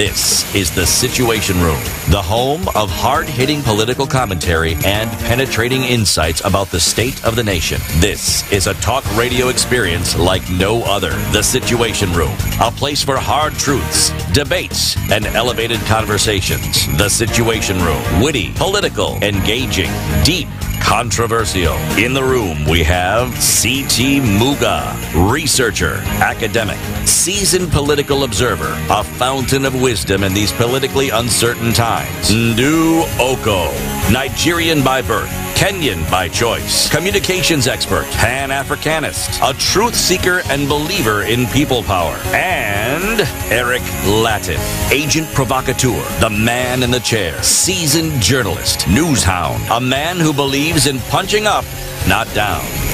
This is the Situation Room, the only way to so start your day. said, um, I'm in Saudi Arabia and I'd like to know more about this land that you people have been talking about in Lanet. Mhm. Abu, tell them. Serenity Springs. Mhm. Touch now. You see, I'm I too. I'm a good student. Right. The road going to Ol Kalou. Right. As you approach Nakuru. Cindy. Yes. Now, there's this big gate. What is the color of the gate? You will see it. the color of the gate is green and red. and red. Yes. It's there. You just walk, and it's splendor and majesty and magnificence. Mm. Serenity Springs, right? There are access roads that have already been done. They're Maram. There has already allocation has been made for you to put up whatever it is that you want to put up when you get into an estate kind of you know um, arrangement. The eighths of an acre already then demarcated properly. There are waterways. All of this is already set up with you in mind. It was done for you, so that you don't have to come and do any more stress. Nothing. So username properties I said, you know what? We came and we saw this place, and all we could think was serene environment. Oh, yes. Not too far from the city, but just far enough for you to be able to enjoy the quietness that it Yes. brings. Serenity Springs offers you an eighth of an acre for 1.499 million shillings. Oh, yes. You can pay a deposit of 10% Mm. and then you can pay the rest in 30 days. Should this not be possible for you, you can then split it into installments. You're paying for the serenity, you're paying for the affordability, you're paying for the comfort. Mhm. I can see it, I can see it, I can see it. You can see yourself there. Yes, I can. right? So, our brother in Saudi Arabia, would like to talk to Username Investments. Please email them diaspora at username.co.ke. Diaspora at username.co.ke. Or you can WhatsApp them 0725 000 Again, 0725 000 Or you'd like to call them, you can call them directly 0725 000 222. In the country, you can SMS them, send an SMS to this number 20321. On the body of the SMS, write plot. That's it. Plot. they will call you back and tell you more about the plot. Hmm. Serenity Springs is in Lanet, Nakuru. Our next guest is from Nakuru. He is Dr. Magare Gikenyi. Good morning, Dr. Ari. Good morning to you. How are you doing? I'm doing fine. Good to see you. I'm also happy to see you. Very it's good. a good morning. Yes. is. Uh, it's not a bad place. Rains have come. Yes. You know this road to Ol Kalou through Lanet? Yes, I know that. Yeah, it's Barabara Alami. And you've been to Ol Kalou. Yes. Scenic, beautiful place. Very good. I told you last time Nakuru is a very good uh, it's a very good- place. So oh, yes. you people of the city, you once you you get tired, just walk into We come to the new city. Nakuru. It's a new city. Then uh, they call it a a, a city of uh, many opportunities, Very good. unlimited. That's un- a city of unlimited opportunities. Yes. It's the pink city. Yes. the flamingo city. Yes. Daktari. Yes. Uh, City is not in today, but uh, he left me the proverb. The proverbs for this week are from Mauritius. Listen to the proverb and you know the tradition. You give us your interpretation of the proverb. So the, today's proverb, when the head is too big, it cannot dodge blows. When the head is too, big, it cannot dodge blows. So essentially, from my understanding, that the, the head essentially, like us in the medical field, mm. is the one which which runs the body. For example, if you have a problem with, with your hand or a leg, we can cut off, but your head you can't cut off. Mm. So essentially, when you you are too big, you take responsibility. You cannot uh, bypass the back and send it to somewhere else. That's what I can say. Ah, yeah. When you're the head, you all the responsibility must come to you. Yes. Good one. Okay, before you go, my my issues are that because I'm a person who believe in fairness. Hmm. I also have a proverb. Eh, eh? in fairness, you can you, if you can allow me, I can give you can answer later or Okay. now. Yeah, okay. It's also from um, uh, uh, an African community or a Kisi community. Ah. Which says, for example, there's a bird which you call a tinginya. tinginya. Yes. so that's a tinginya. They say that uh, the the tinginya which is uh, wise mm. builds a house mm. early enough before the the rain rains. Mm. So you can answer now what that one means. Uh, or you can. A wise Egetinginya builds a house before it rains. Before it rains. Ndu. Yes. What's your interpretation of this proverb? Well, like, if you, you plan early, that you don't wait until it the rain is coming down before you look for shelter. So you plan early and get your ducks in a row before the catastrophe comes. Think ahead. Yeah. Okay. Prepare ahead. Say it in Kikisi now, that proverb. Uh, in Kisise, sinifom our song, we say, Getingi nyekengai ni ke ke gaga getingi nyekengai ni ke aga cho won mbrego to aga so mwae. Getingi nyekengai ni ke aga cho won mbrego to aga to mwae. Yani which means that at the end of All, the day all that was for saying that. yes for that okay, that's for. so essentially, it, it prepares for that. Okay. That's what Ndoa said. We prepare earlier mm. for the betterment of future. Yes. Okay. Asante sana. You have several cases that you've taken, public interest cases that you've taken to court. Yeah. The latest one is a no sooner had the president appended his signature to make the Affordable Housing Bill become an Affordable Housing Act than Dr. Magara Gikenyi went to court to challenge it. This is the latest one. Yes. We'll talk. Let's start with this latest one. Why did you go to court? Um, it's, it's because of the. Uh, I, uh, Dr. Magari Kenyu, we went with uh, four other petitioners uh, Pauline Nduta, Sharum Kaka, Buga Firamon, uh, Chamli Kotondi. So all this, the five of us went to court mainly because of the act, where, uh, which was in our view, was not conducive to the Kenyans. Because when we go to court, we don't go for ourselves, go for the Kenyans. so that's the major reason that whatever the initial act, which was um, the initial uh, housing levy, which was anchored on the Finance Act, according to the court, found that there was some couple of laws. So the government, in the process of trying to make it better, did not solve the initial problem. Mm. So the the initial, in fact, the major problem is uh, in, the, in terms of consumption of the idea. Mm. That's that's what I can say. The, the major flaw. The consumption is not that that good. That's why we went to court, and then we challenged it. Mm. Uh, so that What's wrong with the conception? What is it that the initial court order had Yes. said? Or the initial court finding? essentially, the, among other issues, the court said that the in the initial one there was the issue of the discrimination. Uh, then the, there was issue of the uh, the structural framework or the legal framework for the what they call a housing levy. That's what I can say. The, in sum, those are the major issues. So the housing bill Yes. addressed the structural framework Yes. of the housing levy by creating the housing fund. Yes. Are you saying that it has not addressed the other issue? Yes. Now, by virtue that it was signed as an act, yes, I can say it hasn't. Among the major issues is what we call the the, the, the, the use of the public land.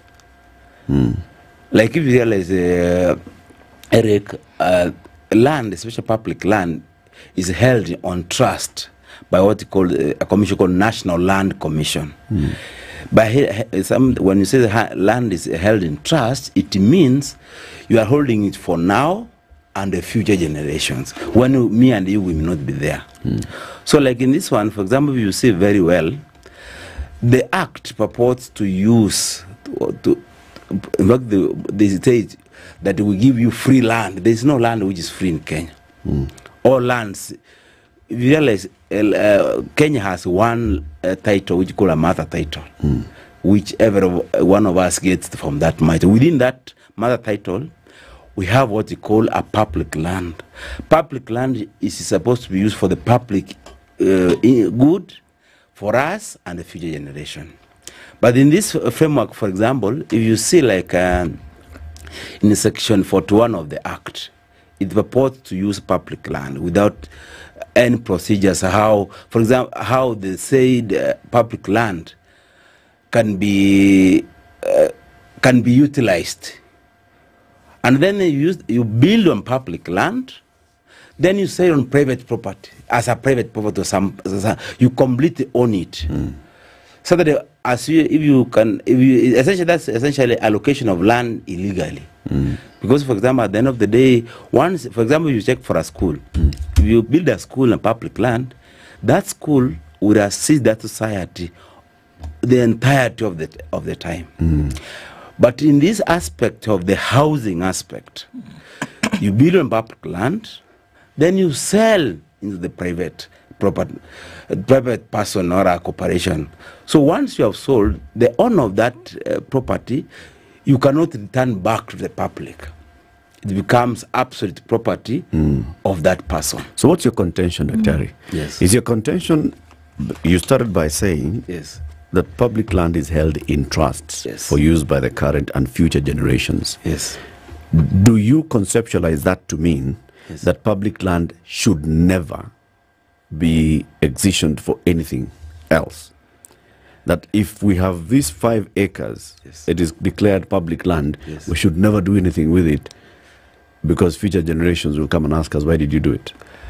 No, I'm not saying that. Public land can be legally be allocated and done anything with if the commission in charge of that one called National Land Commission is the one which holds holds land on trust for us. So there must be a procedure. But for example, what we are seeing from now, uh, you find that the, the government is ev- evicting the residents of uh, of this uh, land. I mean, right now we have like, like land in Dwaraka, these estates, Nyayo, and everything. Is evicting on hoping that it will rebuild new land. The, the difference between the few uh, what used to happen now, the, those land, those houses currently there are uh, are is a public land, and the houses are for public. So Eric, uh, if for example you are the one who was living there, then whatever aspect you get uh, greener pastures, you go somewhere else.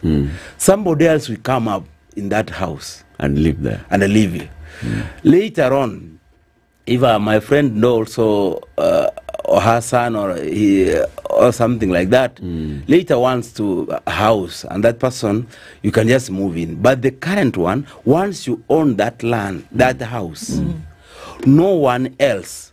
Because uh, you realize the the sanctity of the title is that uh, once it's been once transferred or transferred to private. you you you cannot uh, do it. But maybe the issue here, Dr. Yes. is yes is it following due legal process Yes. that transfer Yes. from the public just like you said Yes. public land can be transferred through legal means yes is there anything in the affordable housing act yes. that you find contravening other established laws and statutes on the transfer of public land Yes, I said there are many. Number one, if you look at the fourth schedule of the Constitution, the housing function is a function of the county government. You will also check at section uh, Article 6 2. It says that the uh, national and the county government are distinct. So it, it means that the work of the national government is to, is to make policy on housing. Now, the actual implementation of that housing aspect should be done by the county government. But at the same time, in addition to that, the government is telling us, Kenyans, for those who are employed and unemployed, that they will take our, your salary. Uh, then we use that salary to build houses. But even after taking, we are, you are, we are not, uh, uh, um, we are not uh, guaranteeing you that you will get a house. Mm. If you if you see the constitution very well, Article 40, eh, on the issue of property of land or the aspect of right to property, your salary is your private property. I- when somebody forces you to or, or deducts that salary and then give that salary or use that salary to build a house for another person, that's essentially what I call the communist. If you realize, uh, Kenya What- is what's not- the difference Mm. between that and I'm, I'm deducted, my salary is deducted. It's called pay as you want, call it whatever you want to call yes, it. Yes. It's building a road in Nakuru and I'm not driving in Nakuru. yeah. It's you. But I'm saying uh, the the aspect is that My tax is yes. paying for your house in Na for your road in Nakuru, Nakuru, and your street lights in Nakuru.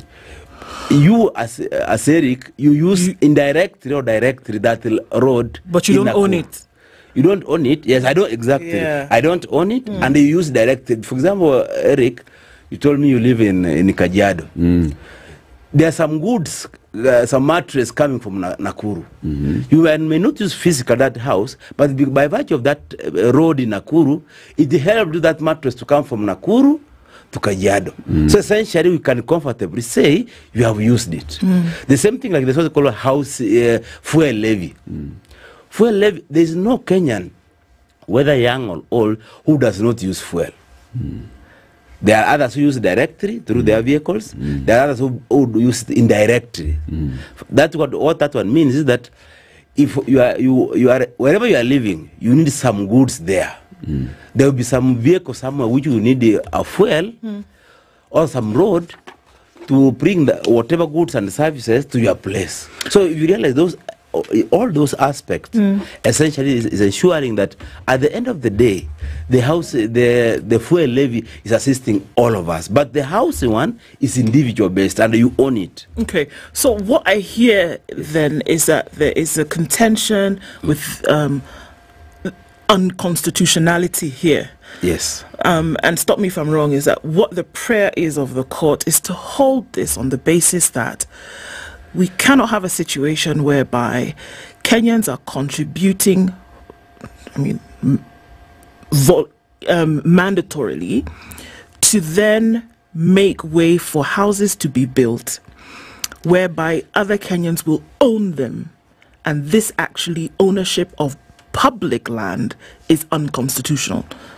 Is that encompassing what you're you're saying? I'm saying the public land is used to build the houses Mhm. And then transfer ownership, yeah. to private persons. And that in itself is unconstitutional. Okay. That's the first thing. Then there's the second part of what you call slavery and servitude. Mm. The being a slave is working for somebody for free. Mm. So, for example, if I if I call Eric to be doing my manual job, but I don't pay him or her, Mhm. him. So that's what exactly we're saying. That Yeah. us, we're working very hard. What we call how hard earned money. Mm. We have earned it through the salary. Yeah. Then someone tell us to contribute mandatorily. Mandatory means you don't have an option. Yes. By them you get your money in the bank. The, the, It has already the, been the slip has been done. Something has done the slip. Then you cannot do nothing about it by force. And then that money is used to build houses for other th- for other people. Whereas Why are you saying other people, Daktari? Yes. Why are you excluding yourself from that? I'm, I'm saying. Has there, is there any aspect of the Housing Act that says that the contributor to the housing levy shall not benefit from the houses that are built? I can say no. There is no. There is no. So then you cannot say that your your tax is going to build houses for others. But what I'm I'm saying, the- even from the act, mm. not everyone who pays tax, he, eh, he or she can uh, he has a right to request a house. To request, mm. is a request. A request can be accepted or denied. But if you like, yes, section 48, it talks about allocation of land. Mm. It says there will be regulations which will be done by the by the government through what they call the Sta- Statutory Instrument Act. The regulations are subsidiary legislation, which essentially sort out the statute. Yeah. So we don't know what to do. But the order said that one will, will set out will set out the conditions on who to own or the process of owning. Yeah. Which means the same conditions were not applied during levying. Mm. That you gonna levy those one who have uh, who, who have uh, who have achieved these conditions Yeah. during levying stage. Mm. They did not tell us we would not leave you you don't uh, do A B C D. Okay. But during allocation now, uh, tables done. So are you saying that it should be left open and it should be blanketed, whereby you're saying, by virtue of the fact that you paid mandatorily, there should not then be any kind of standardization or requirement then when it comes to owning these homes, leave it open. You make a request, you get a home, by virtue of the fact that I've paid tax. Yes, but the, the that, yes, that should be like that. But then now that also brings a challenge. We're close to 40 or 50 million. Mm. Realistically, we can uh, uh, even if uh, We cannot build 50 we cannot million 50 houses. million houses. We, we wish we would build, but realistically, it's not possible. For example, the, the challenge with that is that um, there will be others who will get the reality of the matter, and the others who will not get. Whereas housing as, as a function is not a bad idea.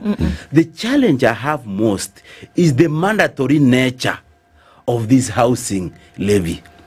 If, for example, the government had, for those who are willing to, to, to levy and get a house, so be it. Because the Article 41 of the Constitution talks about every individual has a right to own property, the type, the place, the style, everything. Some of us, uh, Eric, we are uh, tumeshajipanga na housing. We have already built.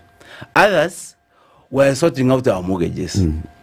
Others have already been paid the housing uh, allowance, and he or she's just comfortable. He doesn't want to own. Who said in Kenya you must own a house?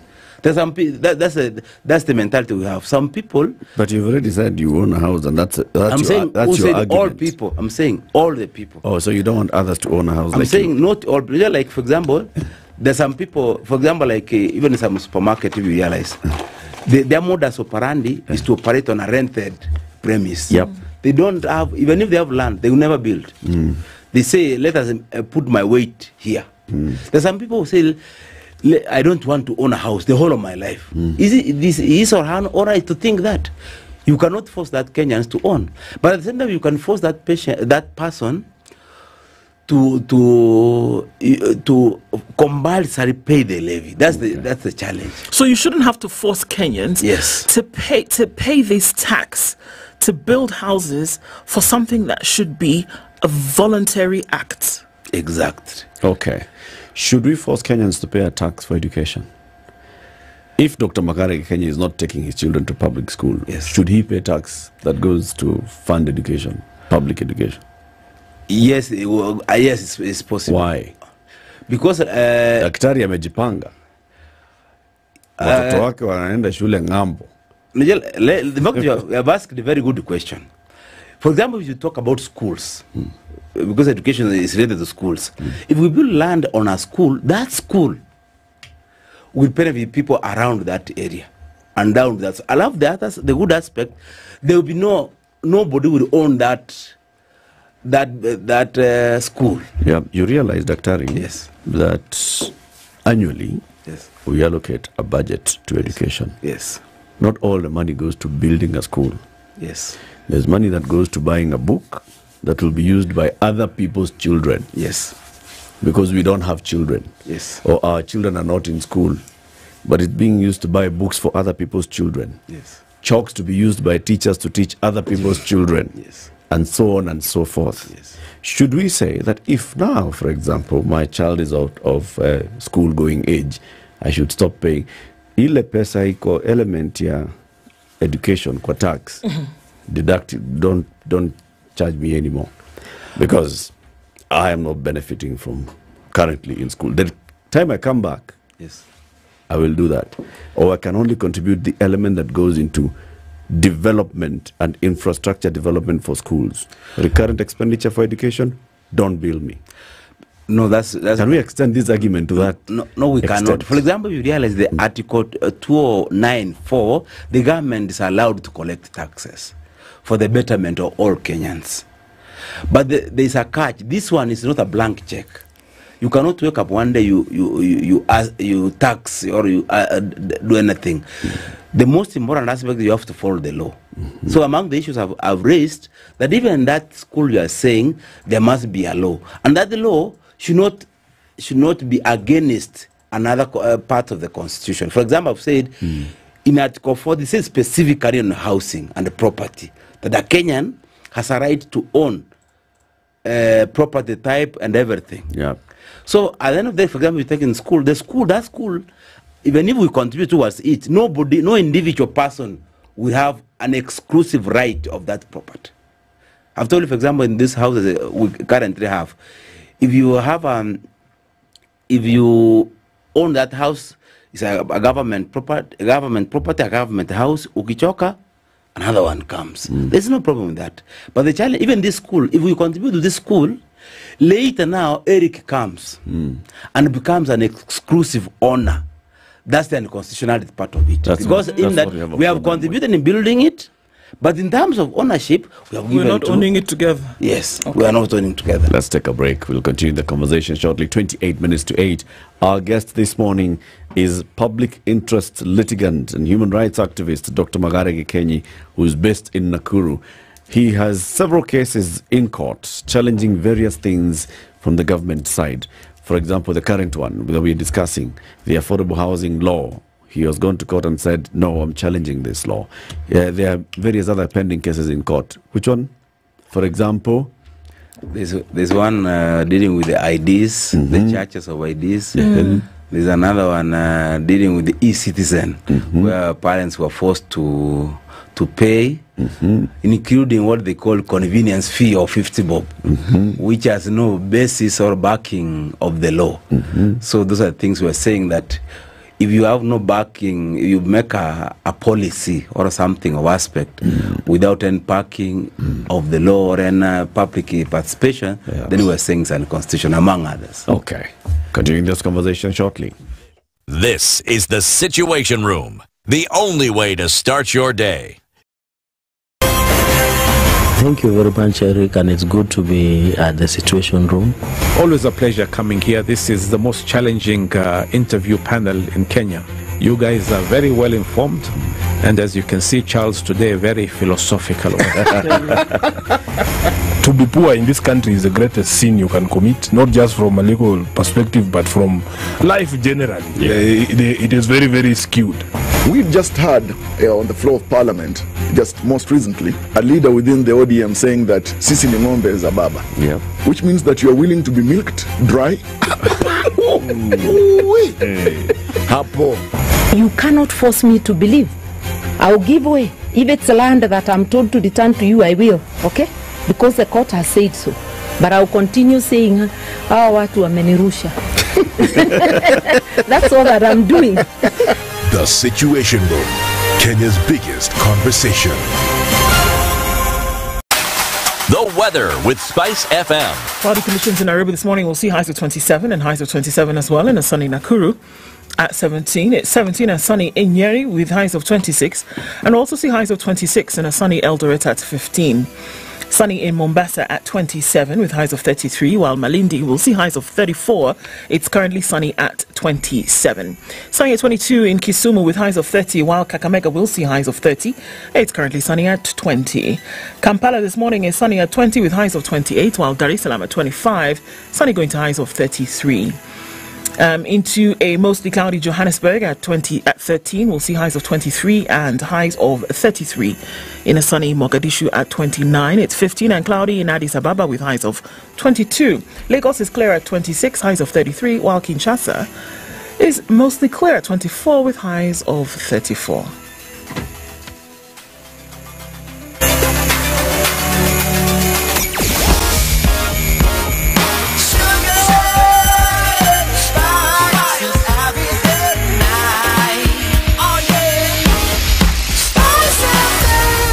Spice up your life. Really busy traffic on Landhies Road as we get into traffic hour proper this morning, and it's also quite busy as you get to the roundabout, just approaching um, Globe Cinema. Um, as you look on Limuru Road, all the avenues from Parklands connecting to that, and there is heavy, almost painful traffic on Kiambu Road uh, this morning. I'm going way past the DCI headquarters gate. Same thing my goodness, on the Thika Superhighway this morning, we're looking at another situation again, coming in from Ruiru at the Eastern Bypass, uh, and then through to Kenyatta University, and then out towards um, Garden City. It's heavy traffic and uh, it's bumper to bumper all the way through towards the Pangani underpass. Looks like is that not that's not letting up just yet, but we are in traffic hours, so to be expected. The northern bypass not looking too bad. How's that for an escape route? Uh, coming in from Ruaka and then touching on the United Nations Avenue out towards Limuru Road. Um, you'll do your business without too much of a headache. As you come in then from Waiyaki Way, also heavy traffic. Heading out towards Westlands and this whole area coming in from Zima Springs out towards James Gichuru. Busy, busy, busy. So let's see what happens as we come through the morning. Let's talk on Spice FMKE on X hashtag the Situation Room. Are you ready? Spice FM. Mature, intelligent talk every morning. Spice up yourself.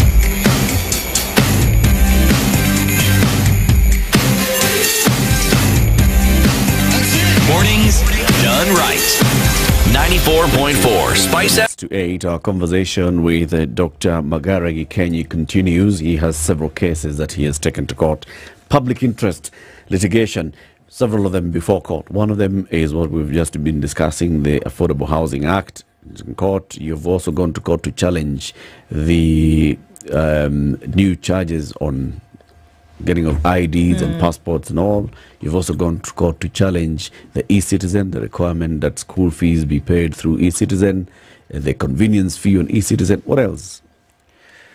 Uh, there, there are a couple of other uh, petitions.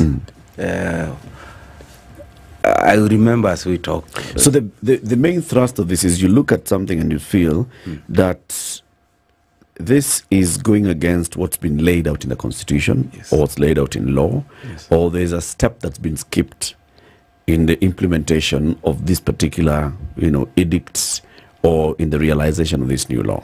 For example, in the affordable housing one, you're saying it's unconstitutional. It's unconstitutional because not everybody is going to benefit from this.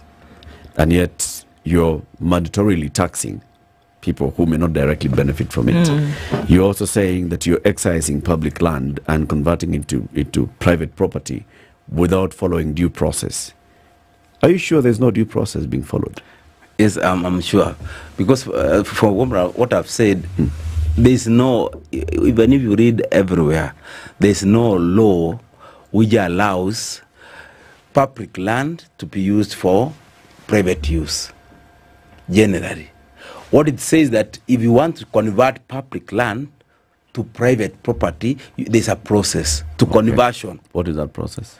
By the National Land Commission. It's, the, it's a body which, uh, and if you check section Article 62, as a Article 2 and as a Article 3, it talks about the National Land Commission, its functions, and how it's supposed to process. Then number two, Article 63 also talks about community land. This also is on, on for the use of the community. But from what we're, we're, we're seeing, even those community land is also targeted as free land, in quotes. For those houses to be built, after being built, then the land is taken to uh, for private property. You know- uh, uh, Eric and Ro, once a private uh, land which was community, uh, the, the house have been built and have given the private property, that the owner of that private property, there's nothing you can do about it. You cannot revert back. Let me ask Unless there is what you call compulsory accusation of the same. If if the country yes wanted to create a new community, say like um, somewhere where there's huge tracts of ADC land, Yes. we want to put up a new city here. Yes. This new city is going to have, you know, uh, government offices. It's going to have public amenities like schools and hospitals. It's also going to have residential areas. Yes. And these residential areas then shall be owned, and some shall be owned privately and all. Are you saying that this should not happen? It can happen. The, only, the most important part of it, you have to convert public land if you want to sell completely to the private person. Convert that public land to private property. Okay. Then that another, pro- like for example, you are saying they build amenities, schools. That's public. So they, you don't even need to explain what happens with that. There's no. Then the section whereby now you build those houses on public land and sell it to private person. Is it for public good? It's for public good. But we are saying the, the, that land is held on, tra- uh, on trust for the public. Public means kila mtu. For example, if I own land, for example, if I come this place and I put a house, something there, a school for the whole area around here, there's no problem. But if I just build for my own public, uh, private yes. aspect, yeah. that's not the problem. For example, even in addition, in fact, if you take uh, section 52 of the Act, it brings a, a, another another idea that you, once you being given this housing unit, you cannot sell it for for duration of time. Whatever aspects. There is no justification under the constitution. Mhm. Once you're paid for them uh, for that housing unit, it, it, the idea should become absolute. Uh, uh, absolute. Um, you become the absolute owner of that that unit. Yeah. And there is no role to tell me if you are government, Eric, I've given you a house. Don't do this. Don't do ABC. Don't do uh, like that. The uh, human rights or the right to right to property, right to health, right to education shall not be limited. The constitution said unless under what you call Article 24, it gives uh, conditions which li- rights shall be limited. Mm. For example, you are giving you are giving a person a house, at the same time you are limiting that person because once I bought it, it's my land. mine, I can do with Yeah, it. I, I can decide to give. Well, there's argument for that, Dr. Yes. You, you're saying that for X number of years, Yes. you shall not transfer it. Yes. And there's argument for that. Yes. Is so that you we ensure that you enjoy the benefits for which you have paid this house, which has been constructed using taxes of the general public, because we said that we want Dr. Magare Gikenyi to enjoy the benefit of a good, affordable house. Now we want to limit so that people do not come to you and confuse you and you end up selling. Uh, Eric, for X number of years. It's, it's not unlimited. The cap is there. I mean, That's even says- a one year. Yeah. Let's give example. One year. That's why for one of the reasons. So you do not want even not one year. Yes. One of the reasons why, Eric, I tell you, for example, I know you, you have some idea about criminal law. For example, if a, a child of two years or four years makes a mistake under the criminal justice system, that person cannot, that child cannot be taken to court for that crime. Because it's assumed that child does not have capacity to think. He can think. There's some people, children child who are even brighter than adults. Yep. But for according to the law, he does not have capacity. By virtue you have reached 18 years, the law presupposes that you have a capacity to think what's good for you and what's good for uh, what's not good for you. We cannot have a situation whereby some people think somewhere and decides Eric is thinking is bad. Let me assist him and uh, her sister, he, his sister, and oh, let me uh, try to think about her. Every adult in no, uh, is assumed to have a capacity to think what's good for him or herself. If one, for, for myself, for example, there's what you call hierarchy of needs. Sometimes I can get a house today. Tomorrow, for example, I have a very bad disease which can kill me in the next two, three months. In my own judgment, I would say my health is more important than that, this house. It is better I sell it, I stay without a house, but I live. So according to that point, time T, I've, I've made a, um, I have a capacity to think that this house is less important than my life. So that's why we're saying once you'll be given a property, it's a, that's why even uh, your employer. You do after the end of the month, he gives you a salary. He or she, the employer, does not tell you what to do to buy mandazi, kuku, and everything. it's assumed after you have gotten the salary, you have a capacity to think what's good for you and what's good, what's not good for you. Okay. I understand what you're saying Yes. on that point. Yes. I want to ask the other side of this because with litigation, the assumption is that um, you don't have an, an, an alternate solution. What we are trying to do right now is stop this thing, which we see to be an abrogation of rights of Kenyans. Okay? Yes. But we do also at the same time recognize that there is a housing issue in terms of deficit, that not enough Kenyans are living in what is, what's the word that's often used? Um, Squalor. Squalor, exactly. yes. Too many Kenyan are living in a situation that should not be. And that the government or the state feels a responsibility to be able to fill that gap and say, look, at the very least, let us provide housing that is uh, respectful, that is affordable, and that, you know, has people with a roof over their heads in one way or another. As we see these petitions being brought before the court, again, the assumption is that one wants to just stop what the government is doing. But can we l- imagine that one wants to propose a better option to government in terms of what needs to be done for this need that is clearly there? Okay. What I can say, number one, maybe let me correct you. Mm. We want to stop this Housing Act Okay. The way it is. Okay. But there's no doubt, a normal human being, even Kenya, say that we need housing. Is the implementation way. For example, even the previous government, oh, I'm sure you have seen some houses being built somewhere. Mm.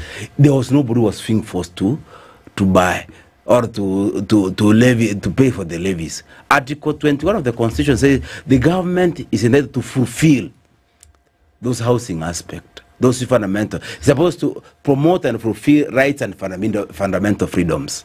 So by that statement, it does not mean you force people. For example, even in Article 40 says everybody has a right to health, higher standards of health. And everybody has a, a right to access higher standards of even education. Mm-hmm. But by virtue of having a higher standard, the same constitution does not say you, you force Kenyans to pay for the same.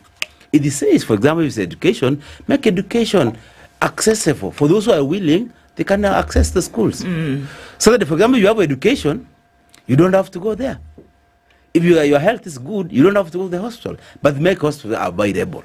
So that's one of the solutions I've said. Number one, let the national government uh, provide policy for the housing. This is not my my words. It's the constitution. Mm. We say the national government should, this among other functions, just policy. I said policy is direction.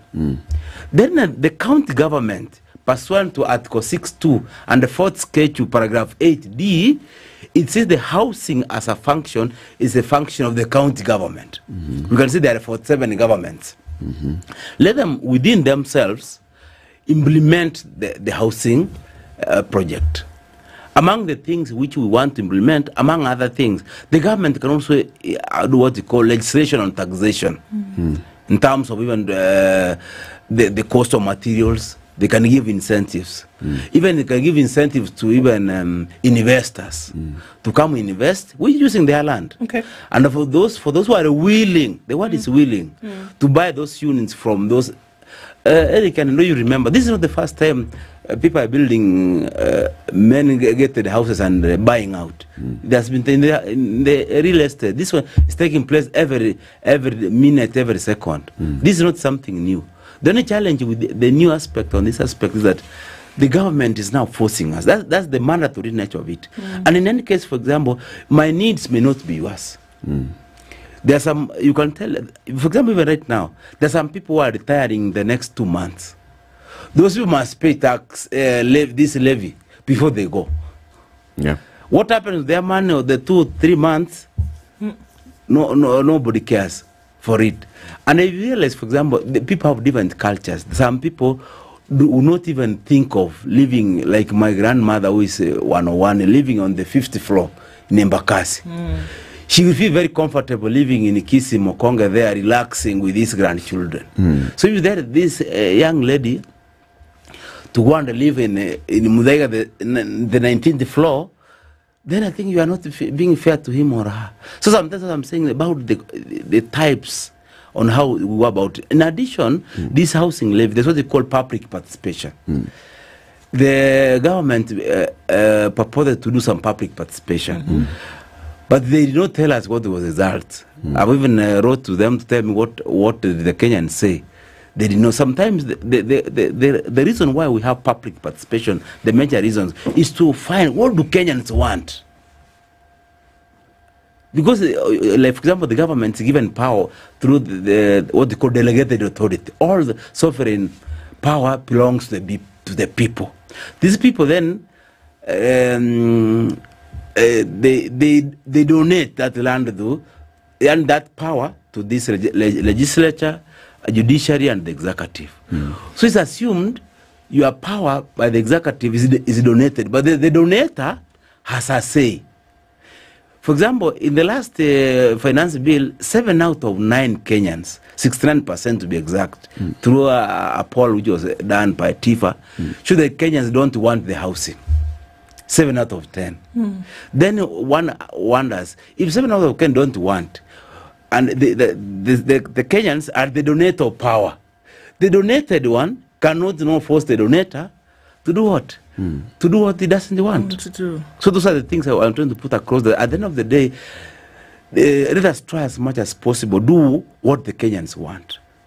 Okay. Yes, that's what I'm trying to put across. Hmm. The law, as it is right now, Yes. Went through several stages. Yes. There was the drafting, it was published, uh, it was subjected through public participation in various forms. After it was published, it was accessible to everybody. Yes. Okay? There was debate in parliament. Yes. And even beyond that, there has been a lot of debate on the issue of housing. So, number one thing I've heard you say, and we're in agreement, is that we cannot argue on the need for housing, Yes. particularly Yes. urban housing. It's a crisis. Yes. And a solution needs to be found. Yes. We cannot argue on some of these provisions in the Bill of Rights. Yes. You have a right to absolute ownership of your property, but also you have a right to access to access housing. Good housing, good sanitation, good health. You have a right to an education. You have all these rights. And when you have rights, then there's a responsibility of the government to ensure that you are enjoying those rights. You to explain to me, for example, the clauses on how you're raising this uh, affordable housing levy, how you shall manage it, and how the houses shall be constructed, how the houses shall be accessible to all Kenyans, those who contribute and those who don't. Yes. What and uh, what did you? What did they? What answers were you given? Normally, you, you write memorandum. Yes, I can say yes, I did. You can do it as an organization, or you can do is as an individual. Mm -hmm. We did it through uh, various uh, uh, what you call uh, CSOs. Mm -hmm. There are various uh, organizations what you call human rights uh, groups, yep. which we we wrote, mm -hmm. uh, saying what we think and what we how we were about it. Mm -hmm. But my, uh, Eric, I know you remember very well. Mm -hmm. Uh, you, they have said you, uh, this is in the public. They have said mpende mspende. Eh? Others will always say that uh, those who are against this one, they will burn in hell. Hmm. Well, uh, Isn't that aspect? So uh, some part of the, the government has what we call the super majority. Hmm. Hmm. Whatever you say ends there. But the, what they want is what they, they want to improve. But in fairness, yes, through this process of parliament, yes, several aspects of this of the original bill were amended. Yes. What ended up in the final act is not what was initially published. Yes. That means that there was some input that came in from somewhere. Yes, I agree. Who are being listened to. Yes. Was any of your inputs? Did any of your inputs contribute to an amendment? No, eh, none of them. Because if you realize the hallmark of this one, of this bill, if you can summarize, is the use of public land, given being the, the private property, and uh, Kenyans being forced to pay the housing levy. Those are the, what I can say the, the hallmark Of your objection. Of the objection. For example, you can have a housing uh, project where everybody contribute. Uh, those who are willing, you can contribute. Those who don't, ama wameshajipanga, wanakaa nayo.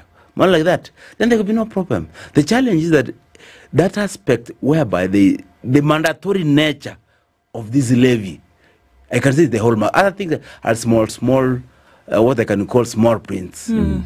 The big uh, prints is, is when you are you are salary, which is a, your private property. Not just your salary is a private property.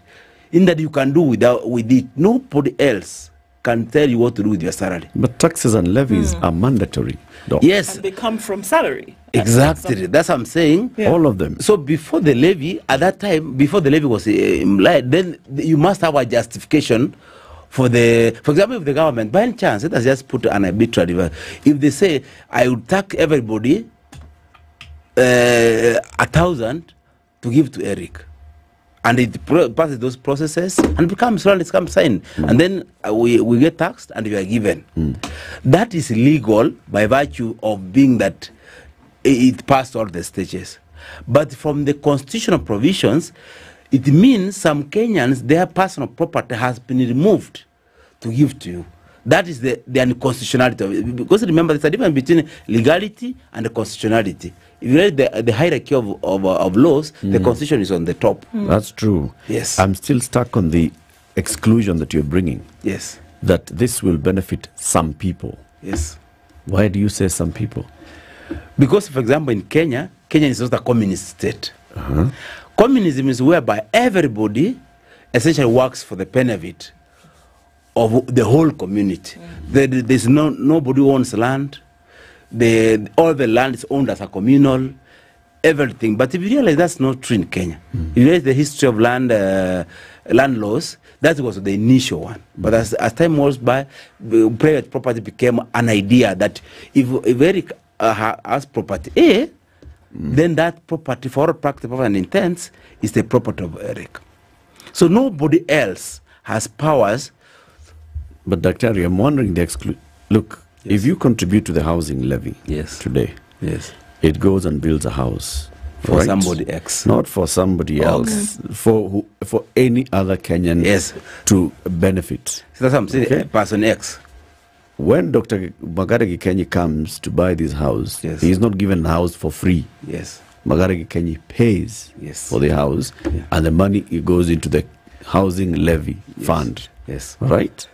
So the housing levy fund has not given Magare Gikenyi a house. Hmm. Yes. Because Magare Gikenyi has paid for the house. Yes. So I'm stuck on when you say that this housing levy is going to give people houses. Let me Why are you removing yourself from the equation? And who is this who's getting a free house? For example, uh, I've said like that, for example, this house, for it to be built, it will need money.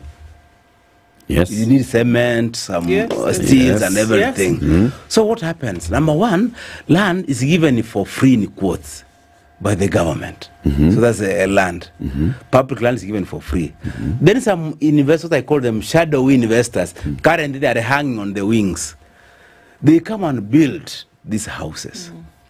Then from what I've been told, close to 70% of essentially the, the, of that aspect, they pay for themselves. Then we get 30%. Or, or put it the other way around. That uh, we use this, everybody gets taxed, we get into a pool, then we use the money in the pool to build houses. Once we build, we sell to somebody X. Mm-hmm. So there are two problems with that. Number one, I've been forced. Mm-hmm. Number two, there are some people who will pay but not get to a house. So let's start, stop at there. This person who has paid but has not received the houses. That's not the, the problem part of it. I think you're seeing it from an end point of view, but there's no end. It ends when everybody gets a house. Okay, that's what you have said. but what I'm saying, there's no there's no I- sunset clause in this particular law. But Daktari, yes, we get your points, and thank you very much for joining us. Always a pleasure. Yes. uh, getting to understand the thinking behind somebody who is working so hard tirelessly, filing cases in the middle of the night after spending days in hospital. Um, good to have you here. Okay, my uh, parting shot otherwise I'll say thanks a lot for inviting me. And the other aspect I always say that let us work as a team. So that the housing is important, but at the end of the day, let it be voluntary and public land we protect it and we protect everything and this act so that we ensure the future generation for us and the future generation there is what they call prosperity. At the end of the day we will have a better society than we found it. Indeed. Indeed. 8 a.m. Good morning. Clinical officers have threatened to go on strike together with doctors whose strike is on its 13th day. The Kenya Union of Clinical Officers chairperson Peterson Wachira says they've given the government until Sunday midnight to address various grievances, failure to which they'll proceed on the strike. The most unfortunate thing about this is that we have given the government enough time. We have tried diplomacy. We have followed the law. We have gone to the Ministry of Labour. We did conciliation. It failed because the government was not committed. We went to court, and even after they were summoned through an order of the court, they still refused to come to the table. Health Susan Nakhumicha, however, says that the government is doing all it can in order to address the grievances that have been raised by both the doctors and clinical officers. But I want to take this opportunity to thank the healthcare workers who have continued to offer services to Kenyans, even as we seek a lasting solution to these perennial problems. Hizi shida hazikuanza na Nakhumicha. This being the case, KMPDU Secretary General Davji Atellah has maintained that the government should be blamed over the ongoing strike. you realize that the government did not even read the strike notice or understood it well because the, the, most of these meetings there's just a back and forth aspect into the issues. And i must say that the strike that we are on is government fuel strike because they failed in their obligations and in their previous commitments over the same issues that we brought up now Farmers have called on the government to compensate them for the expenses they've incurred by purchasing fake subsidized fertilizer. They say despite the government promising to take legal action against those distributing the fertilizer, they request should be considered, failure to which this year's planting will be affected. tulionyesha mbolea vizuri, mbolea safi, lakini kwa sasa ukiangalia zile tumepewa, tumepewa changarawe, tumepewa manyua. urudishe saa hii, si ndio? Ni mzuri, alafu nipatie sisi mbolea ile mzuri. Sasa kusema njaa na kufusa, sasa takufusaje kama hii mbolea mbaya? kuliko tuumize wakulima wa namna hii eh? heri turudishe tupee mbolea safi au turudishie pesa yetu tununue kwa mahindi And the suspect who was arrested in Molo for masquerading as a GSU officer will be arraigned today. The suspect who was arrested dressed in GSU uniform is said to have been working alongside an accomplice who is also in custody. The officer and his accomplice would reportedly introduce themselves as GSU officers attached to the Molo jury farm camp before terrorizing and robbing locals. The High Court in Murang'a has termed life imprisonment as unconstitutional, stating that it is unreasonable and absurd. In a judgment by Justice Nixon Sifuna, he compared it to a death sentence, saying even though one is terminal and the other is not, they are the two sides of the same coin in terms of their severity and permanence. He added that the sentence permanently deletes a convict from society and violates the right to human dignity. That's the Newswire. I'm Leah Ubaga.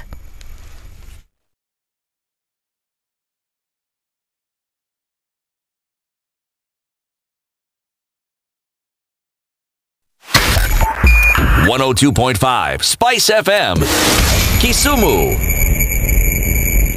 At a few minutes after 8 o'clock, uh, traffic heavy in some parts of the city, manageable in others. Are you coming off of um, Ngong Road, getting out into the city? You should be okay. There's traffic as you approach the junction between Riara Road and Ngong Road and Naivasha Road. So um, be, as you get beyond that, you'll be all right. Coming off of Thika Superhighway, it is heavy. Also on Waiyaki Way, very heavy. The Red Hill Link Road coming off of James Gichuru has some traffic as you then try to approach uh, Limuru from the other side. Limuru Road, rather, from the other side. Limuru Road now coming full circle to touching on Wangari Maathai is actually very busy. It's also busy on um, Kiambu Road, very, very busy on the Thika Superhighway this morning, and traffic is piling up even as we go along. So it's likely to be quite a sore spot this morning, but patience will pay. At some point, you'll be all right. Coming off the Eastern Bypass, there is some traffic as well. Um, again, but manageable. Inbound traffic will take you through towards um, North Airport Road and then coming in from Cabanas towards the junction at Embakasi. Traffic on Outer Ring, inbound traffic more so. So, an eye on things is what we're doing right now. We're in traffic hour. Let's see what happens through Tuesday. Let's talk through the morning just in case you get to a sticky spot. Let us know and we'll see what alternate routes are available. And we'll talk on Spice FMKE on X hashtag the Situation Room.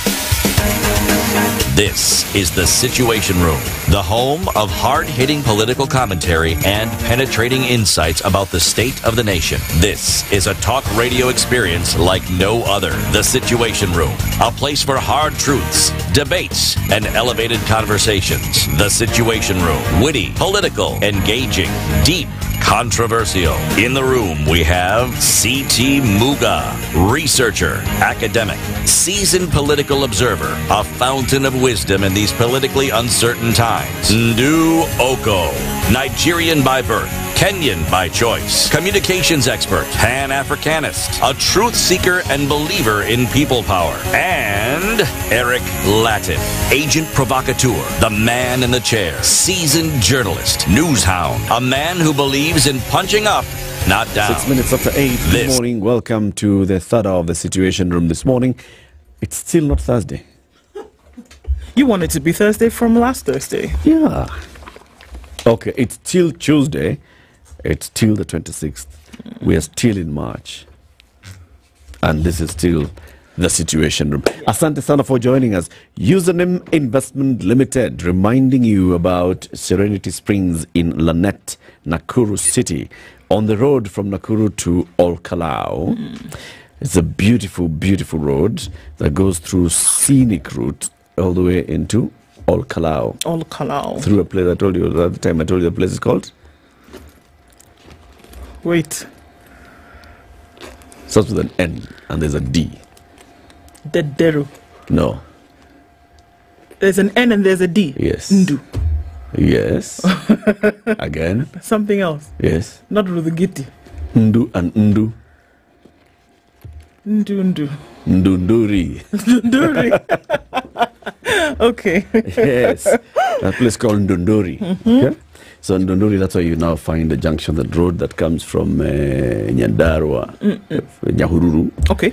And the other one that comes from Rakarau and from Giugiu. and from Nakuru, Okay. they meet at Dondori. Dunduri. Beautiful place. Now, on that road from Nakuru heading towards Dondori, there you will find Serenity Springs. You will see what they've done. They've basically put up the fence, and the fence you will not be able to, you will not mistake the fence. Hmm. What are those colors? Green and Red. yes, Mm. green and red posts, and you'll see a green and red gates. And looking inside, you will see trees. Looking inside, you will see murram roads have been done, looking very, very good. Mm. Looking inside, you will see some water tank somewhere because they've sunk a borehole. Water is available. You will see power lines, and you'll see a transformer because power is just there. And all they're saying is, "Come, Just come. Mm. Come. The invitation is open. It's open. open. arms. Come. Mm. You want to find out more information about that? You can WhatsApp 0705 Abby Yes. triple zero triple two. Yes. And you can also give them a call.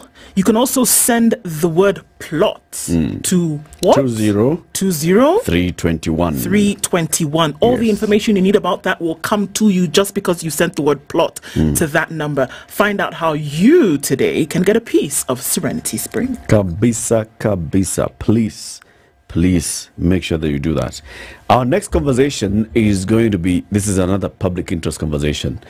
End of March is coming. The Kenya Rail, uh, Revenue Authority told us uh, March, please, everybody, try and get onto e-TIMS. Mm. What is e-TIMS? Electronics Tax Invoice Management System. Um, we hosted the boss of e-TIMS at KRA here a couple of weeks ago, and she told us, "Yeah, yeah, we're working on things. We're taking feedback from the public. We're seeing what they're saying. We are making things work so that it can function for everybody." Today, there have been some complaints that we've seen. People telling us, "Please, can you tell those KRA people to come and tell you?" Because, hey, things are not working. Particularly last week on the twentieth, when everybody was trying to file for their VAT returns. What? things happened. And that's why she's here. Hakamba Wagwe is the manager in charge of e-TIMS at the Kenya Revenue Authority. Hakamba, good morning. Morning to you, Eric. Good to have you back here. Thank you. I, I'm, I'm also pleased to be here again. Salimia Ndu. Jambo. Sijambo. Very good. Thank she always asks, what, what do you mean by Sijambo? Yeah, I just know. What, what does Sijambo mean? It's just uh, sina jambo, but it's it's it's short of sina, sin- sina neno. Oh. So you just say si Yeah. jambo, Mm. just to, to, to reduce the time you are responding to a greeting. Mm. Mm. Yeah. In all the years that I've been asking that question, you guys have never made it so clear. Sindio? Yeah, You so I never mean- get it. you just Clear never get it. explanation of what it means. It's just Hopefully, like the E TIMS will be just as clear as that. Simple, Yes. straightforward. Yes. I tell you, it's like what they say in Hausa. Gutire bosho nage. Gutire bosho nage. That is Hausa. The Hausa for Ndunduru. Mm. karibu sana, karibu sana. Okay. So I'm going to uh, welcome you with the day's proverb. As you can see, CT is not here today. Okay. He's trying to get his E-team sorted. Mm, it might take a whole day. It's a whole day affair, clearly. before the deadline because he was here and he kept telling, you know, I'm doing two, two, two, two, two, two. and then it says tururu. so he told him, you go get it sorted. I have the day's proverb. This week, the proverbs are from Mauritius. Okay. And the proverb for today is when the head is too big, it cannot dodge blows. Okay. Um, when the head is too big, uh, basically, I think I think for me, I'm going to take the from the angle of um, the surface area. The head is big, mm. and uh, why it can't uh, uh, dodge blows. Um, in Kiswahili they say hata kama mtu hana shabaha Mm. uh, when they aim at that head because it's big they, they, they, they should not miss now that's the literal meaning. Um, uh, now, when we go to the definition of it, basically, if you're doing something that is impactful, Mm. uh, it can be negative, it can be positive. You're just affecting uh, maybe society or affecting other people, then you you you stand uh, criticized. Or you, you, you will be judged, or, or there'll be a lot of noise. I think a good example is e-TIMS. I think it's a very good example. Etim has a it- very big head. It, it's a very big head, and uh, it cannot. Uh, uh, it getting the blows that it is getting means that it's it's having an impact on all of us, and it's something that uh, maybe we're going to talk about today. But Mm. but uh, yes, a big head that is ETIMS. There are people who think it's blocking their way to prosperity, and that's why they're trying to Can't stone see it. the front because this big head is in the way. They're trying to stone it. Yeah. Okay, let's start from the very basics. And um, we'll be opening up the phone lines in the next hour, but we also want to pick all the questions, comments, complaints. If you want to throw a fit, throw a fit at Hakamba. She's here to take all the blows. You can post all the comments and questions on our social media as well at Spice of MKE on YouTube, on Facebook, on X, on Instagram. Let's engage on this particular one. Take us to the very beginning. E-TIMS. Where did this come from and what is it? Okay, so so today I'm going to have a different definition of ETIMS for for the record. So ETIMS is not attacks. ETIMS is a, a, a, a tool that we are using to collect information. Uh, the last time when I was here, I talked about ETIMS being a, a solution that is helping us uh, transmit uh, transaction data from the trader premises to KRA. Uh, today, I find it important to say it is also not a tax. Uh, the same way, uh, right now, the traders are already maintaining records of their sales and purchases. What we are asking is that the records of sales and purchases to be passed through ETIMS. Okay. So, so in a nutshell, that's what it is. Okay. How different is it from what we've been doing before? It's it's automated. Now we are using technology. Before, uh, up to last year, if we, for example, we, we had to come for an audit at your premises or a compliance check, we were okay with seeing the manual receipts, the cash sale receipts, when we are looking at how you came up with your income tax liability or VAT liability. But now we are moving to, to, to a space where this information is availed to KRA uh, through a technology that is eTeams so that uh, we have visibility of this, tech, uh, this uh, transaction details in advance, even before we make a decision whether you need to be, to be audited or we need to con- conduct a compliance check. We already have the information that is guiding us to tell us whether or not we should go that direction because we have the information that we can use to verify your tax liability with in advance from our premises without coming to, to disturb you on the ground. Okay. Yeah. You know, we started with the electronic tax registers. Okay. Those gadgets that are uh, bought, and every transaction, then you have to go and input, and it generates a receipt. Mhm. Then you said, let's connect these ones electronically, and you can now connect it to the system so it sends the information to carry. I thought you already had that, and it was working. It was working for, for a few. Uh, when you look at it, with the focus of TIMS, we had focused, that was TIMS now when we connected it to, to the internet. Uh, it was for only VAT registered taxpayers. But then, um, I, as I mentioned the last time, uh, with consideration from the feedback that we are receiving from the public, we had to scale down and uh, consider having the free software for the lower end uh, taxpayers who are VAT registered still, so that they could use eTIMS also, so that now those ones who are in the VAT space either could use the, the TIMS devices or they could have a free software installed on their uh, on their uh, communication devices, or they could have the credentials to log into the KRA system, uh, especially those ones who are doing services uh, for purposes of generating invoices. But then now, uh, with the Finance Act 2023, uh, we opened that space. Not it's not now limited to VAT registered taxpayers. Now it's open for taxpayers who are not registered for VAT. That means anyone who has business income, if he's a resident or he or she's a resident, or is a non-resident with permanent establishment. Now they also need to onboard and now use eTIMS. Now these ones don't have room in TIMS because TIMS we limited it to VAT. Uh, now they all need to be on eTIMS. When I came here last, I think I mentioned that we were we were also thinking of scaling down once again. Because from the feedback we received, uh, some of the taxpayers felt even eTIMS is too complex for some demography of, of our public. So we went back again and we've worked uh, honestly very, very hard and uh, right now we have the the e-citizen platform hosting an, an electronic tax invoicing solution We have a USSD solution. As we speak, there's a mobile app. We are com- uh, completing the modalities of having it hosted. We have to meet, meet some requirements on the Play Store.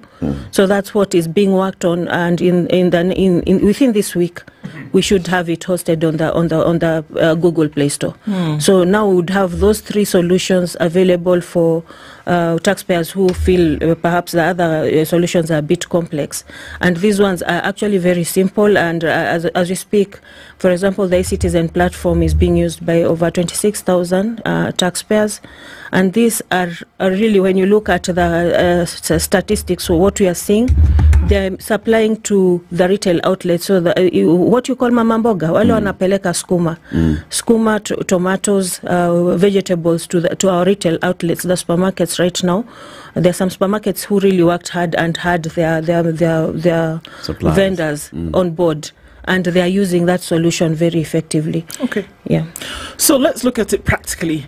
So when you log onto, you obviously you're downloading an application onto your device, right? So once you do that and you log in, what then are you required to do at the point of purchase or at the point of invoice? What are you required to do now that is different from what you would do before with the receipt that you get off of uh, what was it? The old system, ETR. ETR, right? So what are you required to do now on e-TIMS as a vendor, for example? Me who is saying I am selling handkerchiefs and this is what I require you to pay. What am I then required to do? And then let's go through that for the person who also is paying um, later. Okay. So, so uh, this depends on the solution you're actually on, uh, because if you're looking at, uh, for example, uh, I talked about the online portal, and I, I mentioned that this is being used by those people who are who are specifically transacting in services. So, we'd have our legal teams, we'd have our, our accountants working on the online portal. So what they need to do really, um, I mean, the first thing uh, as you sign up, you need to register. You need to say what you do, so that we can allow you. We are not allowing everyone to use the online portal. So once we can verify and see that you are, you are sp- strictly on services, then we allow you to get credentials from the system, and then you can go to invoicing. Okay, what So are services? Services. Uh, services. It means you don't have goods. Uh, you don't have. You're not moving any goods. So your you're a business. Uh, You're a consultancy. You are con- yeah, consultancy. Okay. You are an accountant. You don't have. You're not selling tea mandazi. You're not uh, selling any goods. Mm. Okay. So that one, um, we allow you to onboard uh, that one Why? For because we, we are we actually reducing it's you know you're logging in directly to the KRA system What, so we the are system? yeah yeah the, di- directly to the KRA system mm. while it has a component of the stock management module uh, we would not like to load it with so much information because we'd like it to be used by the, the ones who are transacting in services so that it, we can uh, maintain the system performance. Okay. So the ones who have goods now, we segregate them. We have them have the software installed on their devices because now they they need to run, especially for VAT registered taxpayers. They need to maintain a stock a, s- a stock record, the inventory control. So that one is it's more accommodating to them, and it allows them to to feed in as much information as possible. Okay, and where is But- this? Where they no, on these ones, these ones are on eTIMS. They're on eTIMS directly, the, the KRA system. Okay. That now, now, if you're logging into eTIMS, uh, basically, if you need to to sign up, for example, you'd need to start from eTIMS at kra.go.ke. Mm. So those ones are working directly on eTIMS. Okay. Now, there's the third category who, who the simplified solutions are very, very uh, simple. For example, they don't have the stock management module for those who don't have VAT, non-VAT taxpayers, and the smaller taxpayers. We've said all we need to do is the sales management aspect of it. So when they, if you have credentials for e-citizen, for example, many people have, you've logged in there before, maybe to do this and that. Use the same credentials, but then if you want to go to the KRA services directly, now it's ecitizen.kra.go.ke. It takes you directly to the KRA services. You see the eTIMS uh, invoice. First of all, again, you have to uh, uh, identify yourself so that it also checks from our database whether you even have business or not. And then uh, you can generate your invoice. It's a very simple uh, process that you go through. Uh, you, you need to enter PIN, for example. You need to, to enter the description of the supply you want to do, the amount that is, or the quantity, what you are supplying. And then you enter, if you want that invoice sent to that person you just enter the, the email address and it can be sent directly you don't have to print it uh, the same platform maintains a record of all the su- supplies that you've generated during that time if it sells you have the sales records you have the purchases anywhere where you've made a purchase and you've given your pin you'll always find it in your record so that when it comes to filing returns you already know the transactions that you have carried out to that time Excuse me. You have so many platforms now. Yes Already, there is the iTax platform. Uh, yes And you? Mhm. Now there's an eTIMS platform. Mhm. Then there's the eCitizen Citizen. platform. Then the U- There's a USSD. USSD platform. Yes. Okay. Now, it doesn't matter whatever platform I'm on. At some point, I will need to file my returns, Mm. and I'll have to go to the iTax platform. correct Will I find all this information from all these other platforms here? Yes. So for the invoicing platform, what we've done, the back end, it's one. It's one database. What we've done is we've, we've tried to diversify so that we find the taxpayers where they are used to operating. So there are some who probably might never log into the eCitizen platform, but they are always on M-Pesa. They, they have their Kabambe phone. If you have your Kabambe, you can do USSD. So, but it's all feeding in one database, the electronic invoicing database. And from that database, that information is being drawn and being used for, for, for return filing in the iTax system. Why so many different platforms for different services and different people? because of uh, what we are trying to do is diversify. What, what, what we tried to determine is do we draw the taxpayer from where they're used to operating? And uh, this person, the only thing he does is receive money, send money, and then you're telling him, come and log into a KRA system, perhaps that uh, uh, they, they, they have to navigate through it, they have to learn it. But then they are also used to using the services that are on their phone through their mobile service provision. So why can't we borrow some of those services where they are used to doing their operations? They operate right there, but at the same time, give them an opportunity to comply. Mm. So that's why we are, we are we are actually really trying to diversify to make sure that uh, everyone has a chance, a, a, a simple way to be able to come on board, so that there is no this complaint that uh, accessing the KRA website, for example, is too complex. We we cannot make it. Hmm. Everyone should be able to make it where they are. If you're used to logging into the eCitizen platform, then you already have credentials. Use the same credentials, generate an invoice. There's no complication of, uh, they say eTIMS is complicated because we have to approve on our end. The approval is actually an auto approval. Uh, we just check the database, approve, and you continue with the invoice generation. You said that once you log on and you've registered, and then you go to find if you then are, I want to use the word eligible, and you find that you're not there, what happens? You log off and just continue with your business, or what happens? If you get on as somebody who supplies goods, for example, and somebody wants to buy from you and you want to generate one, two, three, and you find that you're not, the category for which you fall into is not there. Okay. You just go back to business. so- no, no, no, no, no, no. What what the system does also, it checks first of all if you are if you are registered. For example, if um, I enter my my ID and I have three companies I've registered already, it will draw that that out, and maybe it's it's asking you really which one do you want to generate an invoice for. Mm, mm. But then there'll be a situation where I'm, I'm actually a new entrant and I really do need to generate this invoice or I'm making a one-off sale of something, then you still have an opportunity to register and still generate an invoice. So it gives you that opportunity to actually still generate the invoice despite the fact that your business details are not there and maybe the system does not recognize you. Okay. Who is in this bracket? Um, um, I want to look at it from the point of view of KRA, where there's the hope that, you know, as many businesses and individuals who run business then are formalized. But we also know that the majority of those who run business are not in this system. Okay. So, so, so I'm going to, to still repeat. You have business income, you take yes. You are resident, you take yes. you are a non-resident with permanent establishment with yes. Now you are you are in this category. However, um, when it comes to the the the issue regarding taxation, because remember I've mentioned. ETIMS is not a tax. Uh, that's why I wanted to start with that today. Uh, it's just a source of information. But then when it comes to taxation, now the other tax uh, obligations apply. For example, uh, the provisions for individual income tax, by the time uh, you, you make an income up to 24,000 shillings per month, you actually do not pay any tax. Uh, because by the time we do the tax calculations, you do the graduation, you have the relief, all, all, all your tax is covered by the relief.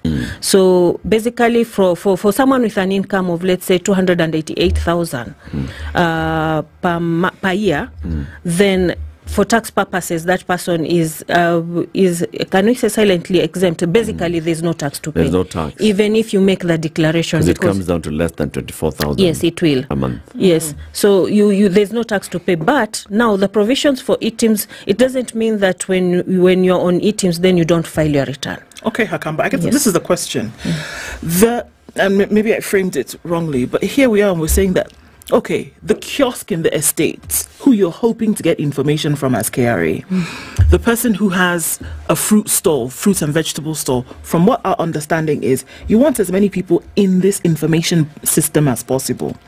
How are you getting if I'm going to buy a loaf of bread, for example? They don't they're, they're not on they're not recording this stuff on e-TIMS. They're not there. So this is my question. Are we saying that for the people who we already know established that whom this is for, or is it truly trying to get the wider population who is informal into the system? Because what is it? To then formalize and really just rein in on those who are already in the system. Like you said, you can find who you are because your previous engagement. But if it truly is for information on a wider level, there are hundreds of thousands of businesses that operate, you know, Under the radar. under the radar. Basically, um, let me just correct you there. It's not hundreds or thousands; it's millions.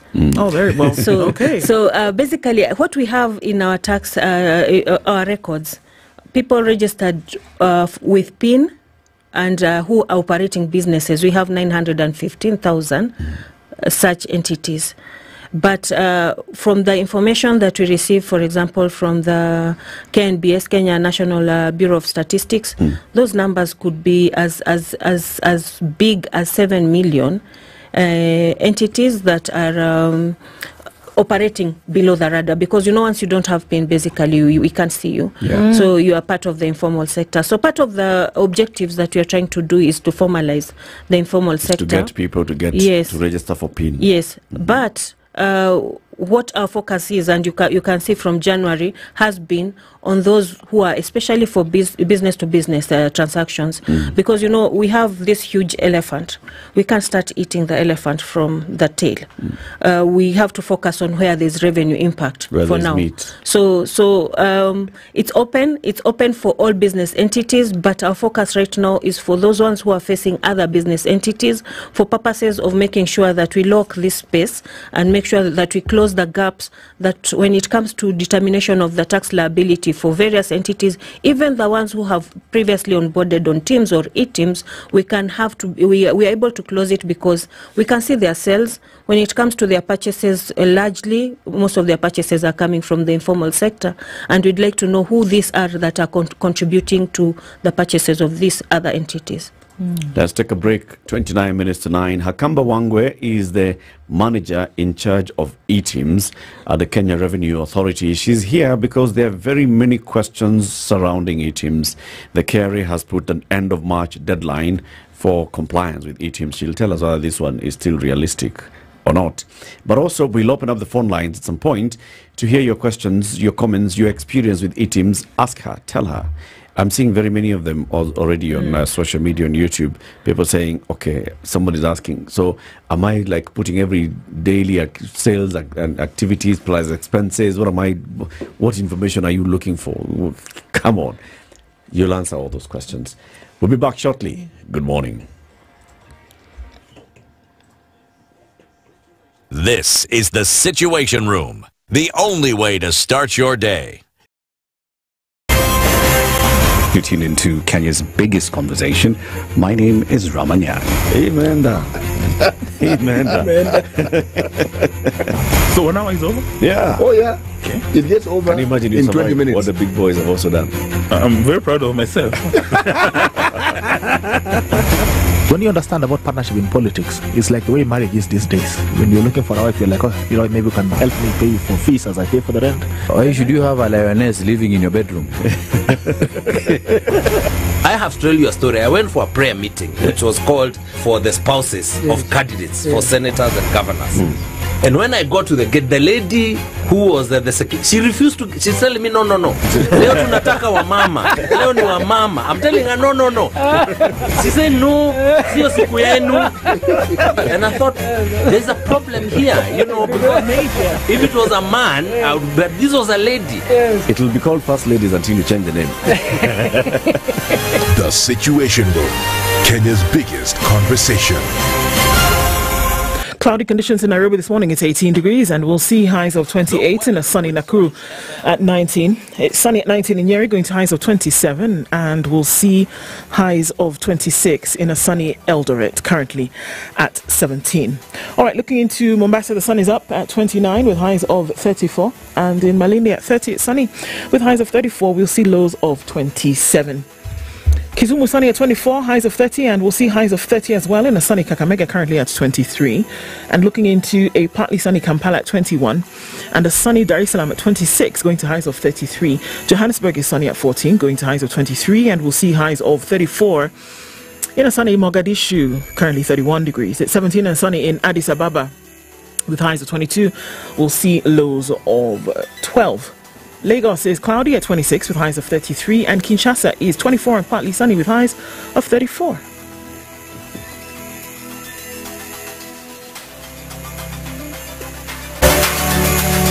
Mature, intelligent talk every morning. Spice up yourself.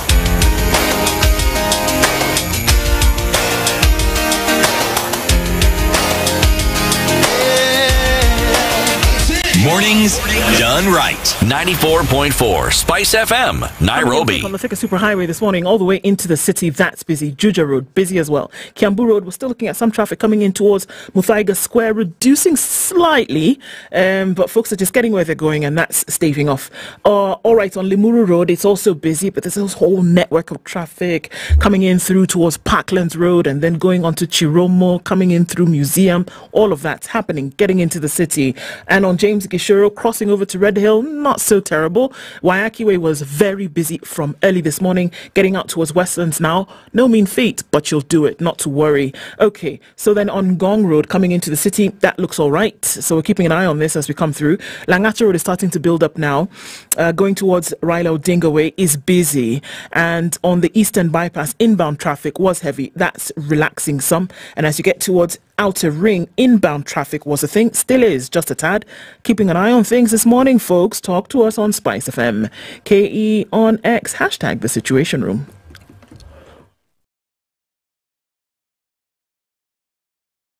Mature, intelligent talk every morning. Spice up yourself.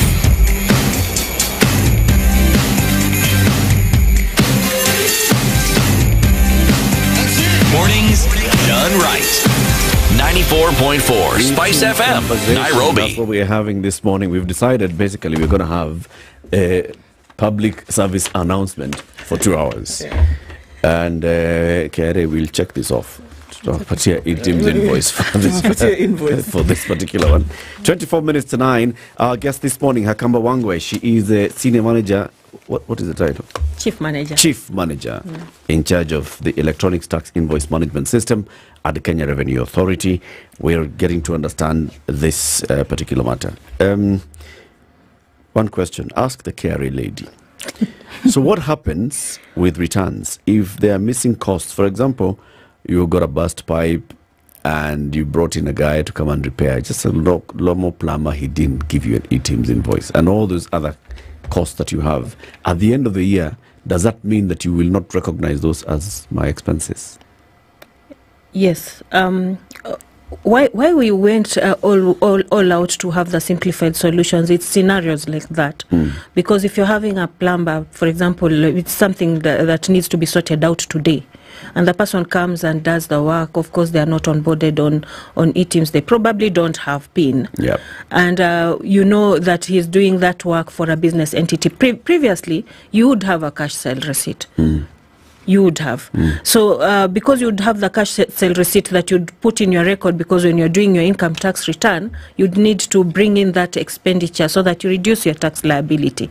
So, this plumber, as he does his work, probably it's exten- extensive. You definitely need to add that to expenditure. Then you have an option to, to get to the USSD solution, for example. What that solution does is that once that uh, that everyone has an ID at that point, once he enters enters his ID and uh, uh, of course there's that check and he doesn't have PIN, it allows him to actually it it redirects him to register for PIN within that space, have a PIN and also generate a tax invoice. So so he would need to do that. So I'll tell Plumber, do the USSD is star 222 hash. Yes. All right, I know it Yeah. because I've, I've, I've tried it out. Mm. So go to ta- star 222 hash, Mm. follow the prompts. The prompts will make him register for a PIN It will, it will, yeah. right there and then. And then now he will generate an invoice right there and then. and he, I'll give him my PIN so that he shows that he's Yes. billing me. Yes. Unanipatia kazi mingi. Nani huyo? Wewe ama plumber? Mimi. who wants no, to pay the plumber but you, but you see, uh, at, at, at the end of it, Mm. you need to have a record of that transaction. You need to have that record. It's the same way that he'd have to do the cash sale, sale receipt and capture your details. You'd have to give him your details. So this is a roundabout way of KRA getting people onto getting their pins. Why do I need to have the transaction? I think that's important that folks want to understand. Okay, Okay. Why is it important Okay. for me to have a transaction that I paid the plumber to come fix something in my house? Why do I okay, need to here, have here's how it works. Eh? We have uh, two two major tax heads that we can talk about. We have VAT. VAT. Whenever someone is filing their return, we talk about the output side of the VAT return, where someone is declaring the sale, and then we have the input side of the VAT return, where someone says, "This is the expenses I incurred and was charged VAT in the course of my business." So the principles are like this. Uh, As much as uh, people feel that the taxman is unfair, what we do for VAT is we tell you, fine, you incurred these expenses and you charged this much VAT from the people who you made a sale to. Can you give us the balance? You offset your, your expenses Mm. so that anytime in your course of your business, we are saying you don't have to incur VAT in the process of you also uh, uh, Collecting collecting behalf. VAT on our behalf. We tell you just offset the expenses. What is the balance? Give us. If you're running a credit balance, no, don't worry. We'll continue running it like that. Yeah. At the point where you have something to, to, to pay, the credit balance will will actually take care of that for mm. you. So for us to be able to ascertain this, we want to be sure that since this is in, uh, is like an incentive you've been given, then we want to, to make sure that the, the, the calculation of that incentive is accurate. So we don't want to also give you that uh, that space and also experience gaps in that we have inflated input tax claims so that we end up losing revenue in the process. So that's VAT. Income tax. Income tax, you declare your turnover, you declare your sales and then you bring in your purchases or uh, or, or, cost of, of cost of sales Yeah. basically so the tax comes from again your profit Net. but yeah yeah ne- yeah from the profit is Mm. where the tax calculation begins but then we're also saying that uh, you can offset your expenses so that uh, by the time you are you are determining your your, your profit profit now we know from that profit is how much tax or tax liability is due Mm. but for us to ascertain that you calculated the correct profit we are checking both your sales, which is what you are transmitting to us, Yeah. but any purchases that you have made, we need to make sure that they, they've been calculated accurately, and therefore it means the profit Mm. is accurately So uh, determined. every expense, Every I expense. need to document it. You need to document. And previously, I've, I was documenting those expenses with simple receipts. So I have a ca- ca- cash payment voucher. Mm. That plumber would have checked off there. mm. Sign up, uh, ati nimekulipa 5,000 shillings Mm. kunitengenezea pipe. Mm. And then later in the year, would have said, well, I have incurred 100,000 shillings worth of uh, plumbing and other related expenses. Now, KRA is saying, I want to trust, I want to believe that that is true Yes. by seeing who exactly you you paid for plumbing jobs.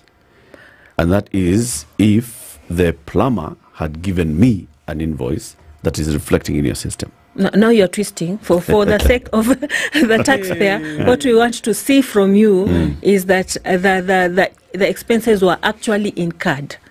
Yeah, so but we don't have thing I'm saying. fictitious expenses. For no, you it's to not know the that same thing. actually Now, on the other side, The plumber has to have told you, I was paid. I billed Eric.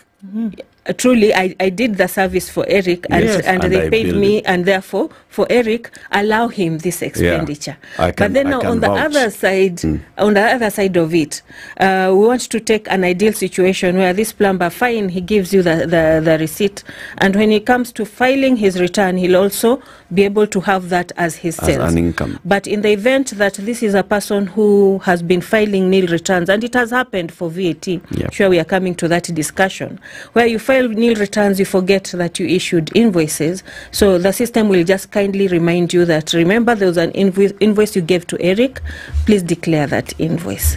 Right. Yeah. Right. So So, go ahead. So it really is a check system. Yes. That's what it is, actually. It's to ensure that whatever it is that you are saying you did or did not earn can then be verified on e-TIMS. That's what it is. That is correct. Right? Yes. So with what I am filing, I guess you can just jump that into that right now. With what I'm filing, and if you do then file nil returns, and someone has, no one rather, has put in an invoice or put in a receipt for payment that you may have paid or made, then your returns remain nil and then there will be no query from KRA. Is it not? Yes, if there's no one who has put in a receipt or you, you yourself has not put in a receipt, uh, then in that case, then uh, from the side of KRA, when you are filing your return, of course that trace might not be there. But remember, remember, the people you do business with, neither can they claim their expenditure. Mm. So if it so happens that you're not issuing uh, tax invoices, then if you're doing business with, uh, and if, for serious business uh, uh, entities, they would like to onboard because then the other person won't give you business because if I'm going to lose on tax, because remember, if for example you do um, the, the transaction with the plumber and maybe he charges you 7,000 Yeah. Mm. and he himself does not give you an electronic tax invoice, neither does he file the return, then that tax, your, your profit will go up because that tax is on you. You, you will not recognize that. I Yeah, we will not, we will not recognize it. can we let, let's re- because and, and for the purposes of many many people who are listening this morning and own a small business and really do not understand what you're saying here i own a salon. Let's just give an example okay? I own a salon. I have maybe five stations. I am supplied with shampoo conditioner whatever Balas. whatever yeah? Mm. okay. oh my God, I need to see you later. And then I have employees, eight of them, whatever, okay? But I'm supplied with all of these things. And then they even bring water, they bring me towels. What you're saying essentially is that for each of these things that I am supplied, there must be the relevant documentation saying, yes, we brought um, shampoo. shampoo to Ndu Salon on the 16th of every month in the year 2024. We charged her 8,000 shillings. She paid us. And here is the record. And here is the record that she paid us. What you're asking is that as I am doing my reconciliations, it must be in the e TIMS that yes, actually, they brought me shampoo, I paid, here is the receipt. This is how it was done. They brought me nail stuff. Here's the receipt. This is how it Here's was the done. invoice. Here's the invoice, Mm. rather.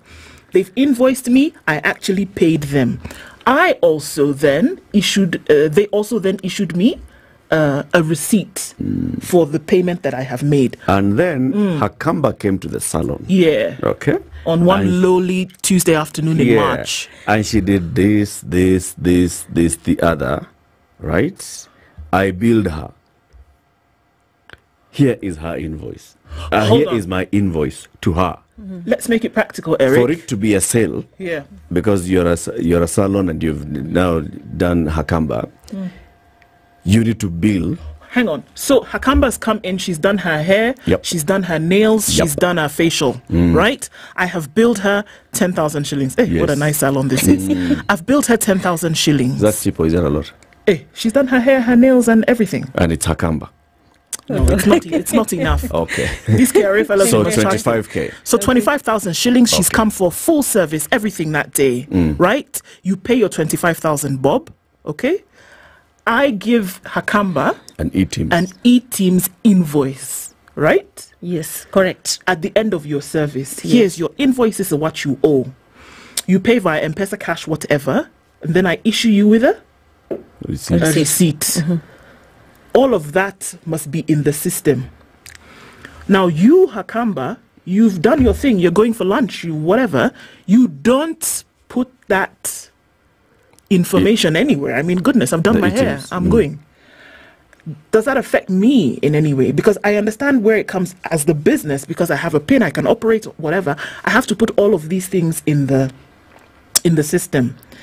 How does that um, affect me if you have come to my service, my salon, but then you don't put in this 25,000 bob that you spent on March 26th?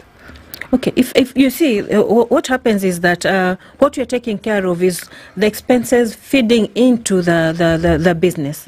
And you've seen this is a very good salon because they've uh, actually accounted for all, all, all the supplies, the sa- shampoo and everything. So they have receipts, items receipts for all those supplies. Yeah. As I come in as Hakamba, I'm an end consumer. Mhm. Yeah. I'm not a business entity. Okay. Mm. Uh, so for me, I have nowhere to get that that um, reprieve because when you give me the receipt Mm-hmm. uh, uh, from Ndu uh, Saloon, if you give me the receipt, it ends there. You will not claim it. I, I, I cannot Yeah. claim it. Yeah, okay. So you can imagine this incentive is only available to business entities. Mm. I wish we could, uh, as uh, uh, unemployment income, bring in also those expenses. You can't. Okay, let's change You it. cannot. Let me ask you Uh, this. Spice FM But is then, sending all their hold people on, to before the... we move on. Yeah. Is it a requirement that Ndu Salon Mm. issues the E-TIMS invoice to the end user? To the end user. Yes, correct. Yeah. Yeah. Oh, For I you have to to. register Yeah, that need- as a sale, As a sale, Yeah. you register it as a sale. you must Mm. issue the E-team's invoice Mm. to Akamba. The only thing I, now, I the don't, question I that don't Ndu, if I understand your qu- question, uh, and I think is how will I? Would, there'll be no reconciliation as long as I've generated an invoice for twenty-five thousand shillings. KRA considers that a sale. Yeah. Yes. Whether Hakamba told me, ah, usijali, it to invoice, Mm. sintakulipa, Mm. pays or not, It's showing in the thing That's that a it's sale. the sale. You, you see, because I must generate, it. the E-TIMS. You see, if you're operating in a, in a, in a situation where, of course, you trust me, I come uh, repeatedly and maybe I pay you at the end of the month after all the services. Uh, for generation of invoices, uh, is is not based on the relationship of the business entity. Kerry doesn't care if we're Uh, friends. uh, what, what, what happens is that uh, whether you've earned it or it's accrued, meaning you'll get a payment at a later date, then you generate the invoice. If it so happens that Hakamba, after that a nice service of 25,000, moves on to another salon because I'm going to pull that one again, then what you can do is you can now raise a credit note because you did not receive the amount that you had actually generated from the invoice. Okay. So, so basically, you're just looking at the traceability of that Okay. transaction end to end. So if you're dealing with business, the same business, because it does happen, whereby you're then providing the, it, a service, this same salon is providing a service for Spice FM people who come and do the show, whatever. We will do your hair every day. And then you bill us. We bill you at the end of the month to pay us. Does that change? Again, the expenses, remember, it's expenses that go towards further runs of business. There's some businesses, I think, maybe if it's a modeling agency, I guess, maybe expenses from uh, f- from a salon would, would hold. Okay. But uh, for, for, for, for uh, uh, an entity like yours, for example, if you are sent out in the field Mm. and uh, the employer says, uh, I'll, I'll, I'll pay for your lunch Mm. because you are, you've gone out to work. If you have your employees going out for lunch in such areas, uh, please ask them to get an eTIMS receipt because when you're bringing it to your return and uh, bringing it as an expense towards uh, maintaining your employees when they are working, then you, they need to be eTIMS receipts. I want to ask about services. You said for those that are offering services and not necessarily selling goods, you have put them in the etims.go.ke. And this would include accountants, consultants like communications consultants such as ourselves. You've put in doctors and such, right?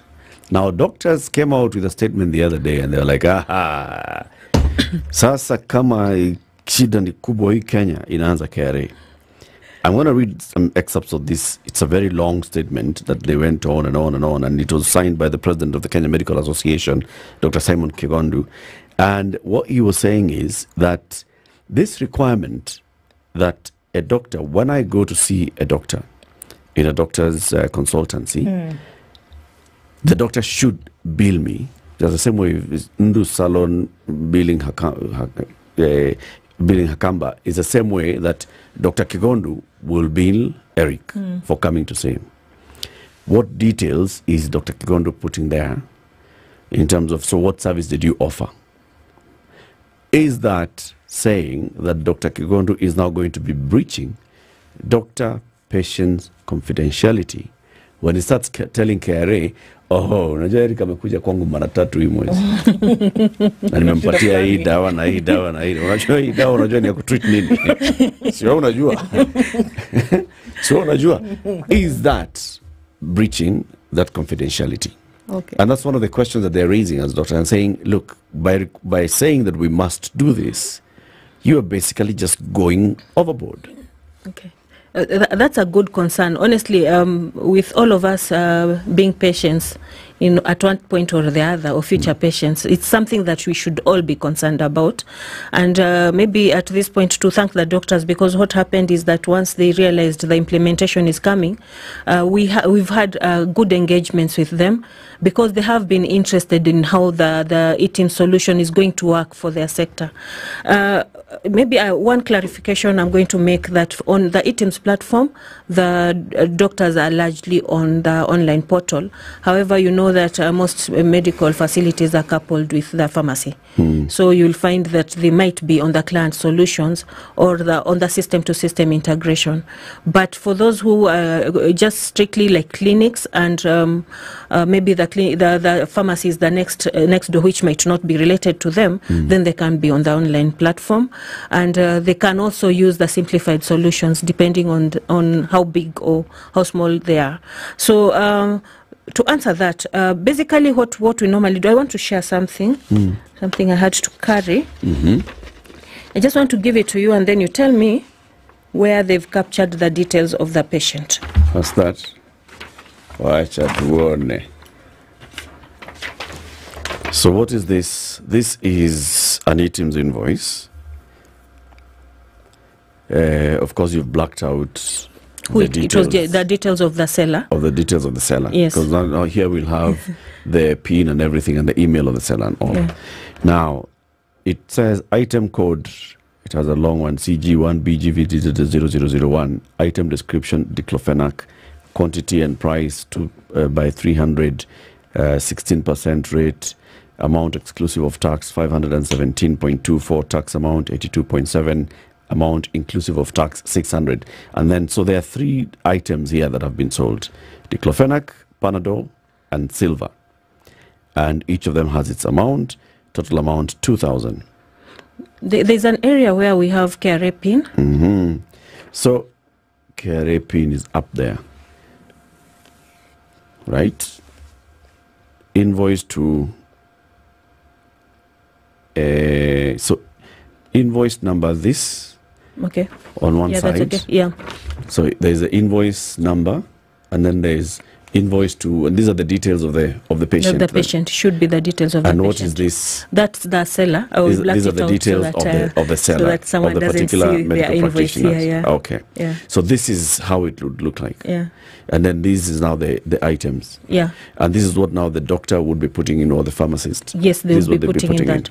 But uh, but just coming back to where we have the KRA pin and name. Now, um, you and I are going to medical facilities, and uh, we basically uh, the, the same example of salons applies. Yeah. And um, I, I don't have an intention of claiming it or p- putting it anywhere as an expenditure. You- Where, what I'm trying to demonstrate there is that you, you've seen KRA pin and name is actually not there. Mm. uh, but I was able to generate, or the person was able to generate the invoice. I see. Yeah. So yeah, It's this blank. is blank. Yeah, it's blank So this is blank by design. by design. Yes, by design, so that what we are interested in Mm. is that information that Is leads to determination of the tax liability. Okay. Not on the details of who. Sasa huyu ni nani ame, ame, ame Are you saying that the doctor will not put these details in? They don't have to. You know, uh, that's why I'm giving an example.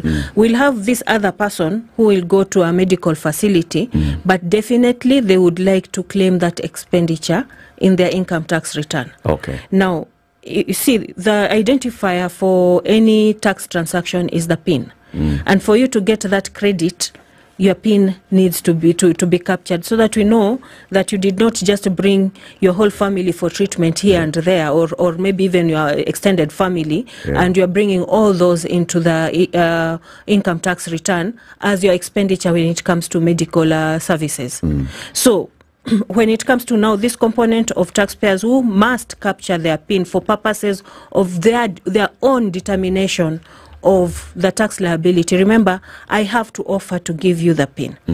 And because I'm offering, then it's, it's actually that I'm consenting so that my tax liability can go down. And in this case now, what kicks in is this. When it comes to the issue of data protection, the Data Protection Act uh, is very huge on, on the issue of confid- confidentiality, even for uh, authorized persons who by nature of their work might have access to this information. Moving to the, the KRA Act, the Tax Procedures Act, the KRA officers in their course of business have access to information, but then also are bound by the confidentiality clause. And you know, we've been receiving, once again, this is eTIMS that someone is giving their own PIN. Yeah. But then they have been giving this uh, these receipts for purposes of reducing their medical lab uh, uh, expenditures. Yeah. So you consent to give the information on our end, we are bound by the confidentiality clause, and you've not had us out there, even without e-teams, talking about people's medical histories. Yet you, Because are you saying you already have we, access? we already have access to this information. mm. So e-teams is different because now it's it's, transmitted, I guess, but Okay. but we have access to this information. Okay. Time for the news. It's already 9 a.m. A time that's running really fast. In the next hour, we open the phone lines. Engage with Hakamba Wangwe. She is the senior manager in charge, chief. Chief. It's okay. Chief manager in charge of e-TIMS at the Kenya Revenue Authority. KRA wants all of us to get onto e-TIMS in one form or the other, whether through the etims.go.ke, through the e-citizen platform. They'll soon be launching the e- e-TIMS app or through the USSD code star 222 hash. Are you prepared? We'll pick your calls after this. It's 9 a.m. news time.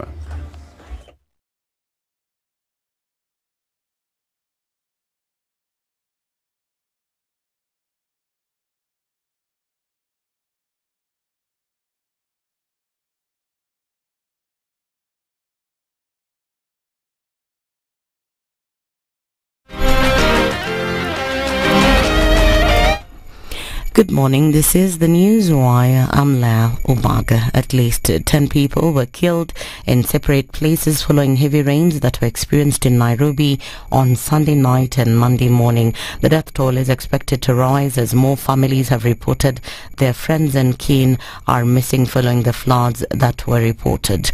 Among those missing is Police Constable David Chesire of Kamukunji Police Station, who was swept by water as he saved a trapped family in the area. The Met Department has urged where has urged Kenyans to be wary of the rains, which will continue until early June.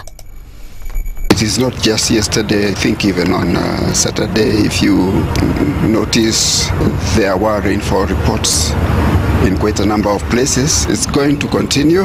We expect a break on Thursday.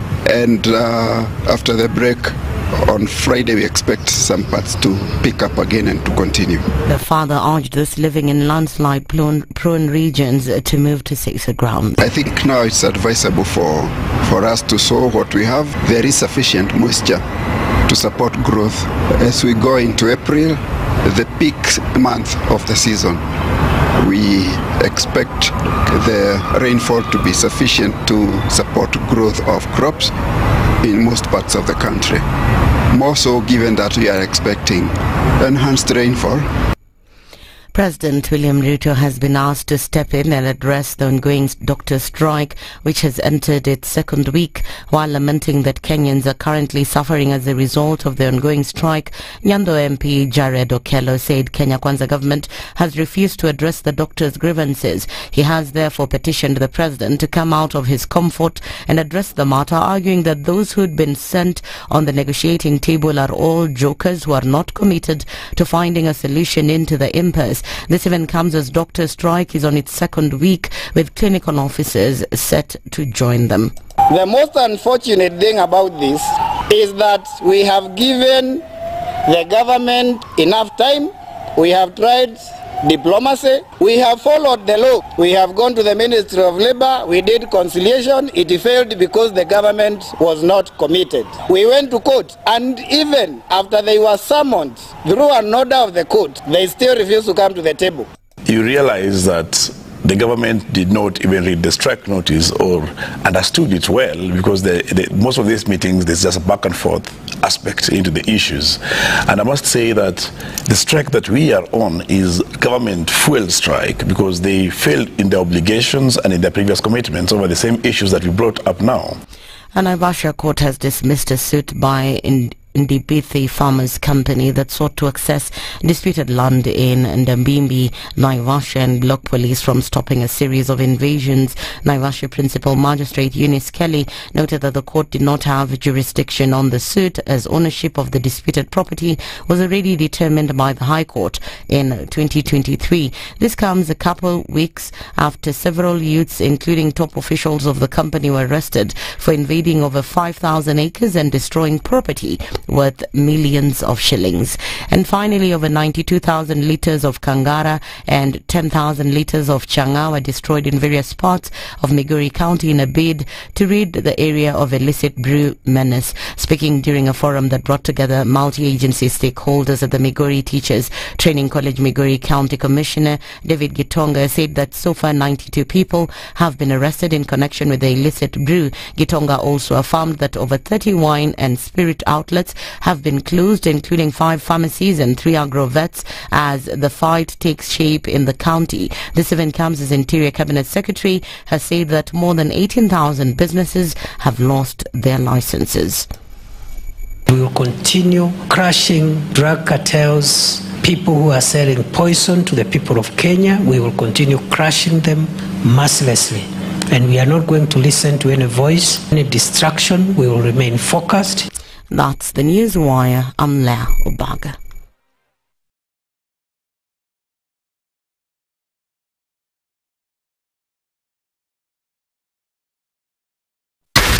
Ninety-four point four Spice FM, Nairobi.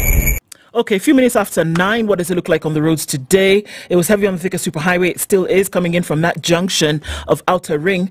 And also looking at traffic coming in from Waiyaki Way, still a bit sticky.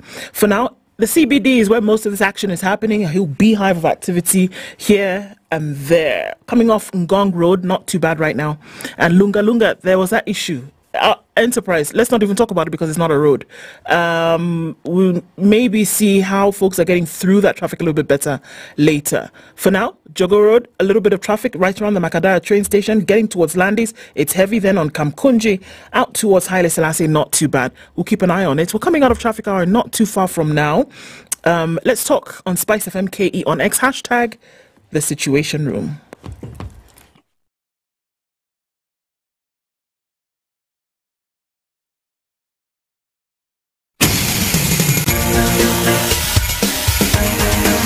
'This is the Situation Room, the home of hard hitting political commentary and penetrating insights about the state of the nation. This is a talk radio experience like no other. The Situation Room, a place for hard truths, debates, and elevated conversations. The Situation Room, witty, political, engaging, deep, controversial. In the room, we have C.T. Muga, researcher, academic, seasoned political observer, a fountain of wisdom in these politically uncertain times. Ndu Okoh, Nigerian by birth, Kenyan by choice, communications expert, Pan Africanist, a truth seeker and believer in people power, and Eric Latiff, agent provocateur, the man in the chair, seasoned journalist, news hound, a man who believes in punching up, not down. Seven after nine. we're This up is the Situation Room, Still the only way- with Hakamba Wangwe from the Kenya Revenue Authority talking about e-TIMS,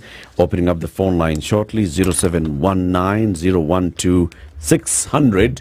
And also we'll be reading the questions and comments on YouTube, on Facebook, on X, on IG. And also, we will tell you again that hmm. tomorrow, Wednesday, if you'd like to go and see for yourself, with your own two eyes, the way KRA wants to see for itself, every transaction that you claim to have made, it's very important. Just go to Kencom, 7.30, be there tomorrow morning. Mm. A bus will come. It'll be labeled username investment. It'll be written uh, Serenity Springs, Lanet. Mm. Hop onto that bus. It'll take you to Nakuru, take you to Lanet, take you all the way to Serenity Springs. You will see the land. If you're in Nakuru, what's that mall called? West Side. West Side Mall. West Side. it's West Side. Yes, it is. Okay. If you're at West Side Mall at 8:30 a.m. tomorrow morning, Hmm. bus will come. It will take. It will take you. Mm. Hop onto the bus.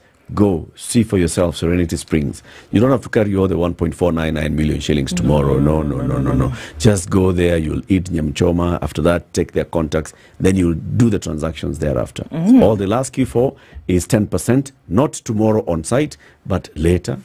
Pay a 10% down payment, and then you can clear the rest within 30 days. And if you can't within 30 days, Three months, mm-hmm. six months, mm-hmm. nine months, mm-hmm. 12 months. Have a conversation. Hii kitu ni ya kuongea, my friend. mambo hii Kenya ni ya Mm. kuongea. Yes. hata KRA wanajua hivyo Mm. mm. pa wao wanakuanga na watu ya kuongea Ndio sababu. na wewe 0725 triple zero triple two. That's the number to call or WhatsApp them. And if you'd like to send a text to them, it's SMS the word.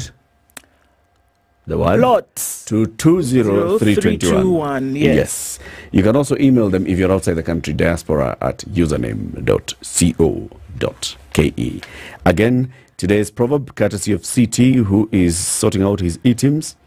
it's from Mauritius. When the head is too big, it cannot dodge blows. When the head is too big, it cannot dodge blows. Hmm. And Hakamba gave us her interpretation of this. Because items is too big, it's not dodging the blows. Okay, start throwing those blows. Ednah will pick the calls. We'll put them on, on air. Read some of the questions and comments. Mm, okay, so one question here. What about mileage claims? That's something for you to think about. Um, so that's how then that how does then that come through? Okay, so we we okay. So there's a lot of innuendo here, but let's ask this question: How about telling us how we will account for bank charges, loan interest, provision of all allowable expenses for tax purposes, yet no invoices are raised? And this is for the ETIMS um, perspective. So we'll take those two. Yeah, that's okay. Okay. So um, mileage claims. Um, I, I think maybe a clarification that I need to make. We are, we are not changing anything about how you operate. When it comes to mileage, for example, uh, the basis is actually the fuel consumption. So what you've been doing before, even with your employer, when it comes to now, when you go to fuel, for example, you maintain records of uh, uh, of those of those receipts. Then uh, you deal with your employer how you normally account for that and get your credit for that. Bank charges. Let me just start with interest. Uh, interest uh, from uh, Tax Procedures Act, Section 23. Interest is one of the transactions that are exempt as we speak. So they have an exclusion. Others are emoluments. Uh, we have investment deductions. We have imports, and imports I'm going to qualify it because there's a bit of uh, lack of understanding there. Imports, when you're bringing in your, your goods, uh, services are, cl- are clearer. When you're bringing in the goods, they go through the, our customs or our borders, and uh, they go through what the, the, basically the custom verification that happens Mm. uh, through our custom system. Mm. Then we have captured that information, in which case you don't have to have an ETIMS receipt. So from the country of origin, you bring the goods which with whichever receipt or invoice that you received it from because the record is at the port of entry. Now, for services, of course, we know uh, still the basis is the receipt would be the one which you received from the country, uh, the country where you're importing the services from. So for goods, I'm coming back to goods again. If you take this bottle, get it uh, at the border, at that point you don't need an eTIMS receipt. You'll have the receipt that you imported it with. Okay. Once it crosses on this side and it forms part of your stock, anytime it's going out, it needs an eTIMS receipt. Right. So don't uh, uh, we shouldn't think that because the goods were imported, then they will never need an eTIMS receipt. It's at the point of importation, Only so it's the there. transaction. Okay. So um, uh, I think those ones are the examples I was giving of uh, the uh, transactions that are actually exempt, and interest is one of them. And it says with si- and similar payments. Now, um, from what we were looking forward to is having the the ETIMS regulations in the Tax Procedures Act, so that we give clarification on because in the Tax Procedures Act it says and similar payments. Remember, we've covered interest Mm. when it, comes to uh, financial transactions, but then we said and similar payments. We wanted the public to see if bank charges would be part of what would be classified as similar payments. For now, if someone needs clarity for that, you can actually get an official communication uh, from our policy division, but uh, the best place would be from our regulations. We are going to clarify that. Okay. Yeah. Let's go to the phone lines. I've got several. I'll start with Rotich in Mombasa and then Zippy in Nairobi. Rotich, good morning. Good morning, Eric. How are you? Very well, thank you. Uh, ladies and gentlemen, good morning. Good morning. Hi. Uh, uh, thanks, uh, Madam Hakamba, for coming in to give us more info on this victims uh, system. Now, uh, I've got like three questions, but uh, let me let me start with this. When you are when you log into the module, the eTIMS, and uh, you on the item management uh, part, when you are trying to to to say maybe uh, generate an item code or uh, get an item code for a certain particular maybe service or uh, product uh, sold, you realize that as you go to those uh, in that uh, item management module, there is some there is what you've coded as level one, level two, level three, level four, level five. From there, you will get uh, the respective item code for a particular item that you've uh, you've uh, you've uh, you've sold. An example is something like furniture. You say supply or you sell some uh, furniture to some institution or some company. Well, now when you're generating that invoice, you you go to this uh, item management module and try to get that I, uh, item uh, code so that it will reflect in the invoice, in the ETIMS invoice. But you realize when you key in like a keyword like furniture, it will take you to some, uh, it, under those levels, it will give you things like uh, uh, libra- uh, library furniture, classroom furniture, and such. It doesn't have maybe, it doesn't have uh, things like office furniture, uh, hospital, or maybe hospital furniture, those kind of things. Another thing is when you, when it comes to services like car hire or uh, car leasing services, under those, under those, uh, under those uh, uh, under those levels, there is no direct, uh, uh, direct code that takes you to car hire services. Suppose I've, I've leased out a car or somebody has hired a car, I cannot directly key in like uh, and generate a code for car hire services. And even if you hire, when you okay, maybe you picked up part of the code simply because the other there is no the other code is not available.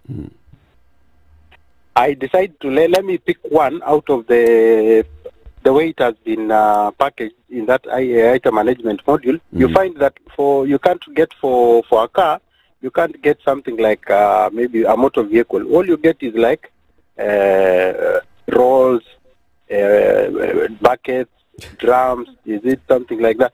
And the only the only level So basically, example what you're what saying did- is that there's some missing codes. yes, in there are some many missing codes because it's Sawa. very very many inputs. Rotich, Then uh, the second one, the last one. made. The- Let's, please, let's, please, let's please. go to the others. Zippy in Nairobi, good morning. Good morning. Yes. Um, first of all, thank you for taking um, the time to explain to us, and kudos for taking such a monumental task on. However, the process has become rather frustrating for small business owners, not because we don't want to comply, but it's a tedious, time-consuming process, especially when you haven't tested it well.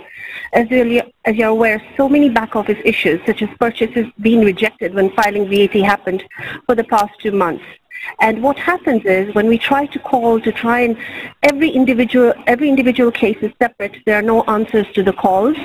Emails are not being got to, and at the last minute we're told to go back to manual filing, which then we have already filed earlier with the excess VAT, which affect our cash flow as small business. And you are very well aware that cash flow is really, really integral to our part to mm. conduct a small business. So I, what my suggestion is one, please, in advance, before the due date of the 19th, either check the system and make sure that all transactions can be captured.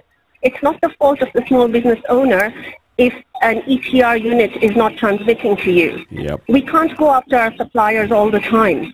This, these systems should have been checked beforehand. And secondly, just a last comment. Again, kudos, but please test the system before implementing it and let us know what we're supposed to do next month. We like to file by the 10th. We can't be waiting till the 19th or the 20th at the nth hour to file. Thank you. Thank you, Zippy. Peter in Nairobi, and then we'll go to Dr. Simon Kigondu of uh, KMA. Uh, hi everyone, thank you for allowing me to speak. Um, my my concern is I'm using the Android app, and I've gone through that tedious process of item codes, which I think they should uh, revisit and rework it. But now, when it comes to printing out the the invoice from the from uh, uh, a friend of mine, they can do it on their laptop, but on Android devices, I can't save it as PDF. It's something from an IT company, it's something that should be part of the system already. What does it save us? It's it's forcing me to now buy, buy a Bluetooth printer so that You can print it. I'm able to print. Okay. But why not save it as PDF and print it somewhere else? Yeah, that's my, my, my concern. Okay. Good one. Thank you. Dr. Simon Kigondu, President of the Kenya Medical Association. Uh, uh, thank you, thank you very much, uh, Latiff Ndu, and say a big hi to my friend Hakamba. Good morning, Simon. Amesalimika. Am- Amesalimika. So, uh, two things. Uh, I thank Hakamba for the many meetings we've had with KRA, but I can assure you that eTIMS for doctors, we are not boarding, and we gave them a simple, simple uh, solution. Exempt doctors uh, invoicing from eTIMS. Why? And, uh, it's because of because of all the problems you've already had, one, but two, there are two problems that you have with that invoicing. KRA want to run your clinic using the eTIMS system and their eTIMS system is inefficient. That's one. Number two, hmm. the point of the tax point, the point of invoicing, me, Kigondu, I see Eric Lat is there. Yeah. Maybe he has a torsion. We need to remove his testes or hmm. something. Hmm. Sorry for the example. Uh, the invoice will read Eric Latiff, the service is removal of testes, and the amount is 1,000 shillings. And if you put it in an eTIMS system, uh, KRA will owe you 300 shillings whether or not you are paid. In another, in, in the past uh, arrangement where we've had, uh, for instance, an insurance is paying for you the 1,000 shillings, the the invoice will be that will have all those details. By the way, an invoice. An insurance company cannot pay a dummy patient, Yeah. and therefore it will go straight to the insurance. The insurance one may refuse to pay, say that uh, that uh, uh, uh, procedure is not covered. And if they refuse to pay, and you have put the, uh, that uh, thing already in the eTIMS system, you you already owe KRA. So when we talk to the team at KRA and ask them when an insurance doesn't pay you, what happens? They say, oh, you pay first, then you go and prove Daktari, that you why, why, will, why would the insurance not pay? in 40% of doctors' bills are unpaid. Let's start with NHIF. Why? NHIF owe oh, doctors They just don't pay. Why? They, they just don't pay. Why? They just don't pay. I even as you ask, in fact, it is the duty of the government. And, and, and, and, and the problem with we are having is that that same government that has refused to facilitate doctors to collect their money is the same one that wants doctors to pay uh, tax before being paid. Let me give you a good example. Resolution Health collapsed with millions of doctors' shillings. We, we, it went. They have agreed. The patient has been treated. They have gone home. We have provided UHC. We have invoiced. Resolution have agreed and said yes, we will pay. Then they collapse. We sent to government. Government did not is not able to refund all this. Secondly, NHIF have refused to pay. And if you had put these invoices in eTIM, hmm. then you are the provider. You are government. Yeah. Then, but So it is not refused to pay, it's they have failed to pay. important- Hold on, Dr. Ari. Yeah. Because you know when you say they've refused to pay, it would sound No, like oh, there's sorry. something Let's erroneous with your claim. yes, yes. yes. Let's not use. No, no, no, no, no. Claims are fine. Claims are fine. Okay. Rural uh, private roofer are owed 29. No, rural KAPH and all those are owed 29 million. It's not that the claims have a problem, but now more important, the breach of confidentiality. When uh, the uh, KRA team said that there is no personal information in that invoice, it's wrong. A PIN number can trace you direct to your house. And in the invoice, if you look at what an eTIMS invoice contains, I put it up yesterday in my page. Can I read it for you? It has a description of the services. In medicine, a description of the services is gonorrhea and things like that. Okay. In a PIN number is identifier to give you a name. And finally, let uh, uh, your your host tell you, we actually went to 17th floor of KRA and asked them, okay, let's see how this works. And they clicked, and the first thing that comes is name. And the second one is the type of and gonorrhea, and then so they should not be. Let them exempt doctors. We are act- we have actually filed a court case yesterday. We filed a court case because Mm. after four meetings we saw that yes, we are happy are trying to uh, expand the tax base, but the breach will even lead to foreigners not coming to Kenya because the EU laws do not allow uh, personal information to be put in uh, eTIMS system. So when you have KRA discussing a patient confidentiality, it's the doctor who, by Data Protection Act, will be charged five million, and if it's an EU court, it will charge you one billion. So let them exempt doctors from eTIMS. So we have just to be, to be clear. Ari, Yeah. If you go to a doctor and there's a gonorrhea issue, Yes. my insurer and NHIF are going to have this gonorrhea information.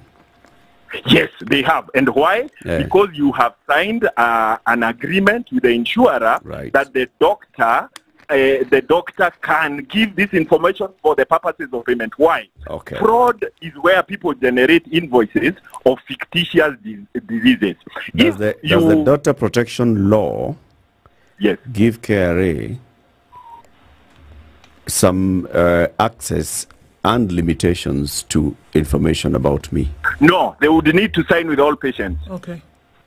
because so what we'll do if if they if they do not exempt doctors from this is what we will do we will be charging the patient and telling the patient to go claim from the insurer so that the insurer is the one who has the um, how do you put it liability Okay. it would be me to be that the information of Eric Latiff about us removing his testes, for instance, being discussed at KRA has come from Dr. Kigondu because he's the only person we saw. You see, and and, and, and, and, and let me tell you, KRA should be very careful. The practice of medicine is based on confidentiality, and it's based on the doctor keeping that information. They can't just say, and, and, and what is this emergency about tax? Doctors are the highest payers of tax. The Can I, can I ask you, doctor, because we are about to go into a break? Yeah. Okay.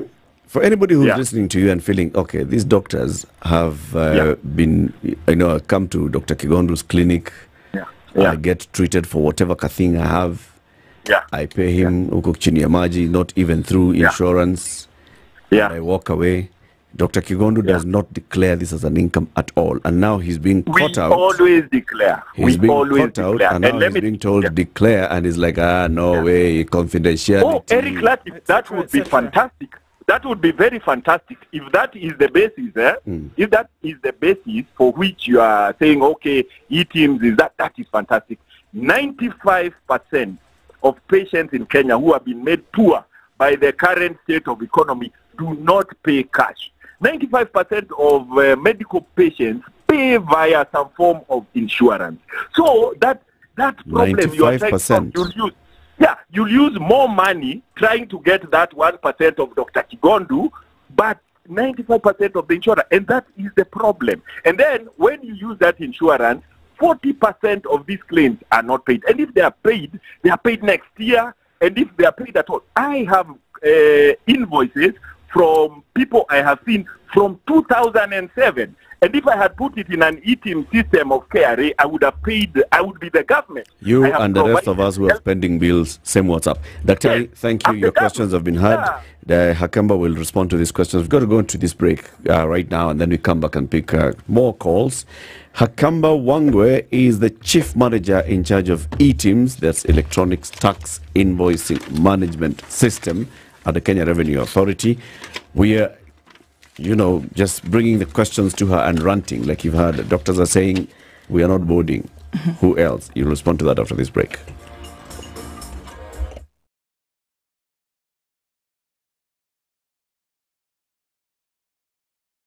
This is the Situation Room, the only way to start your day.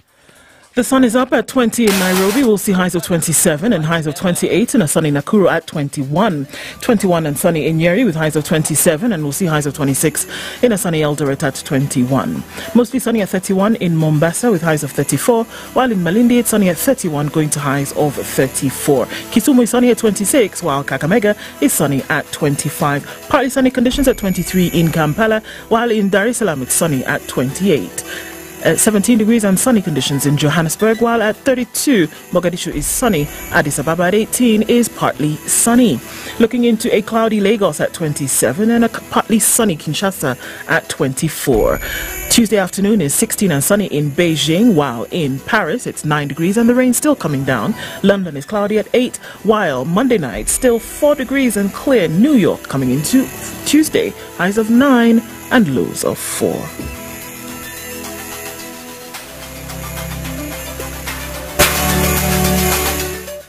All right, it's still been a busy more. It's been a busy morning for most parts of this Tuesday. Lunga Lunga still busy. That whole issue coming off Likoni Road and then going out towards um, parts of Mombasa Road still continues. Um, coming off the Thika Superhighway, less dramatic as you come through Survey, and also looking at less traffic on Kiambu Road. So this is good. We're getting out of traffic hour in fine form. Let's keep an eye on things. The city still remains a beehive of activity. So just so you know, you may not get out as quickly as you expect, but it'll happen in good time. Let's keep an eye on things through the day. Help us out as we talk on Spice FM.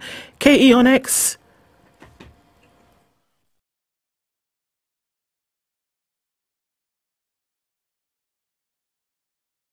Mature, intelligent talk every morning. Spice up yourself.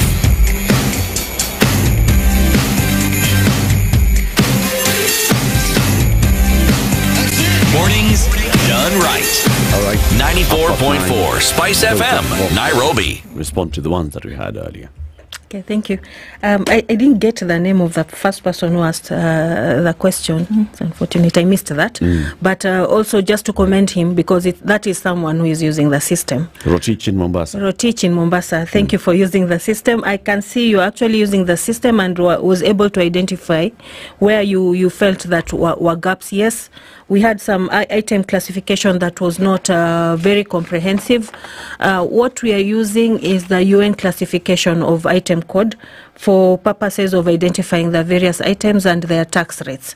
Now, what we had done initially, because of limitations uh, that we had when it came with res- on resources, we did not have the comprehensive version of the UN classification code.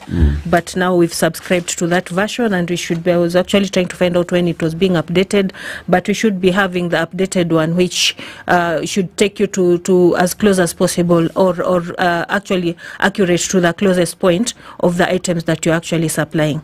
So we should be expecting a change maybe in the course of the week because we had that, this subscription done uh, last week. For Zippy, I think she's talking about the VAT auto-populated return, which Yep. we've not talked about uh, during this uh, setting. So allow me to to give a bit of clarification. Mm. First of all, I'm starting from the point of saying that the system worked very well. The VAT simplified return actually did work very well. The issues that came out is the issues that existed, but we were not visible to them. So why there was a huge outcry? Because those were the issues that were in existence out there that probably may have affected the tax liab- liabilities in one way or the other. What issues are these? So I was coming. To, I was going to come to that. Mm. So uh, over time, what we've we've we've always reminded our taxpayers through various ta uh, uh, public notices, through various email communication is one. You're onboarded on eTIMS. This is for VAT registered taxpayers uh, because we started this implementation earlier with them. So we said once you're on board, and uh, this is a message that will also go to the ones who are onboarding on eTIMS, it is not enough to onboard. You need to transmit your invoices through the system. So we started having this message, kind of message from June last year, that everyone needs to transmit their invoices to KRA through the system. How is that? odumeen How do you transmit this, the You, invoice? you generate, you need to be connected to the internet. Okay. So you make sure that the invoices are actually coming to our end. And we also have continuously, you, you'll notice the past public notices we've had, even if they're on an unrelated issue concerning eTIMS, we'd always say we'd wish to remind registered taxpayers to continue uh, generating invoices through the system and make sure that you give your PIN if you intend to claim input tax. You can Okay. go back So you may need to explain what that means. Okay. And maybe that's part of the reason There- why there's been there's low, been a- slow compliance. It's Yeah. just not understanding. Mm. If I, we are assuming somebody who has a handheld gadget, Mm. those physical gadgets. Mm. Okay. So somebody goes and keys in the details Mm. of the tax invoice that they're generating. Previously, with the other uh, ETRs, you do that and then that was it. Now you're saying that once you generate this, you should be generating this while you're connected to, to Wi-Fi, the, inter- to, to the to Wi-Fi. internet. Or at some point in the day, you know, you might not be on Wi-Fi all the time, but you need to, to point connect and the day, transmit. connect and make sure that it transmits. Yes. And then that is the only time that now you will be able to make your claims for it. Basically, what what a valid tax invoice is is the one that is validated and transmitted. Okay. Validated and transmitted. So now, if you even if you on board and you switch off internet and you're generating invoices because they, they, they all have offline capability, Mm. as long as you're not transmitting, then that is not a valid tax invoice. And that's why we provided uh, measures to check the validity of the invoice. Uh, what you do, even as an end consumer, you visit an, a premises, you try to scan the QR code or you, you check the invoice number through the iTax portal.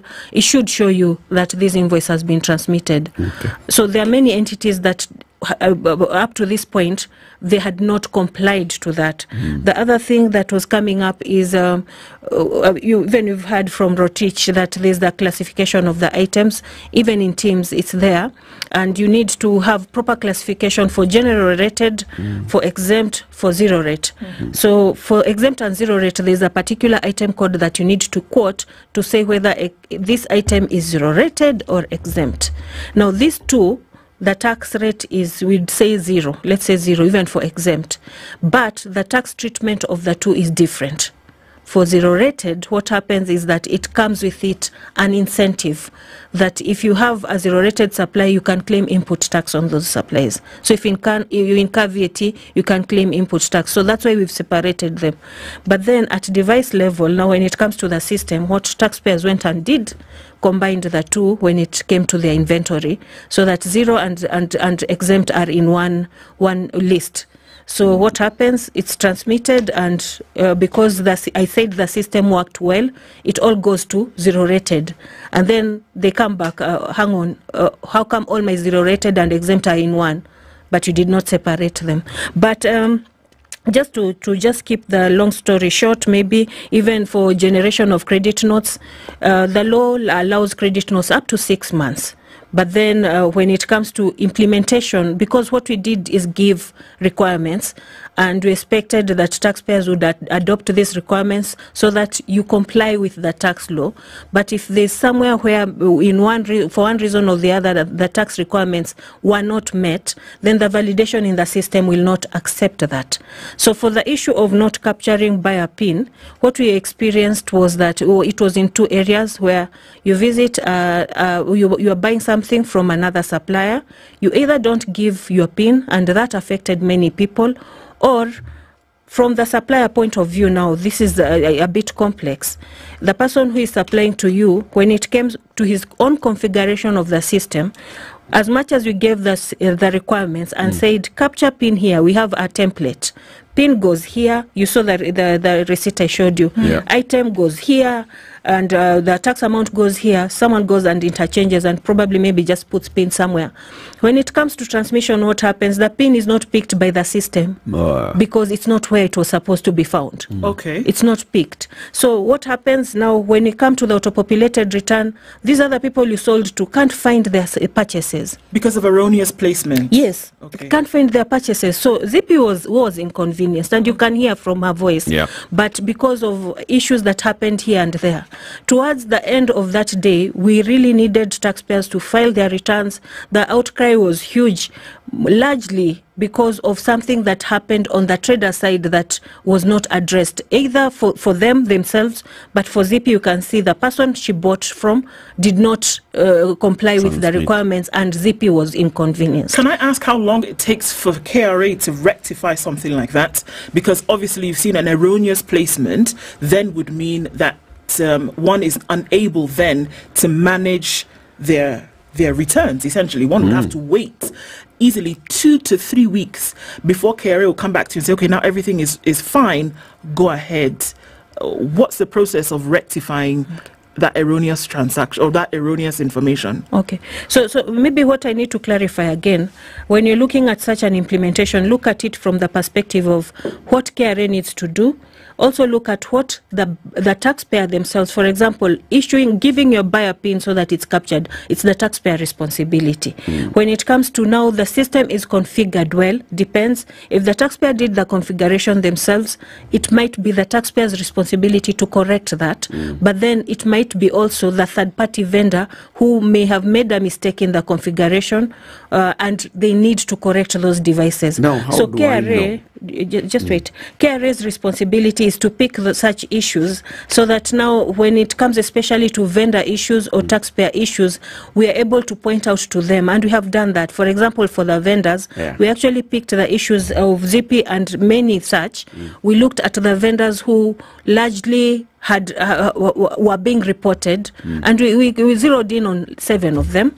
And we gave them a list of the, the complaints that we have received, gi- have given them timelines to correct that, and it is our responsibility to, to make sure that that is done, and so that the next time we switch on the system, then the taxpayers are not inconvenienced the way they were inconvenienced if time. it lapses in terms of time and she's oh, sorry. supposed to be filing anybody is supposed to be filing and it's this what happens is, sh- is is the person penalized because they've missed the date knowing full well that what we are waiting for is this regularization Okay. So, so uh, may- maybe what I need to clarify also for credit notes and im- and uh, for purchases, any taxpayer, the law still allows them six months to claim input tax or to declare a credit note. So there's six months period by law, and it's so how we've implemented it in the system.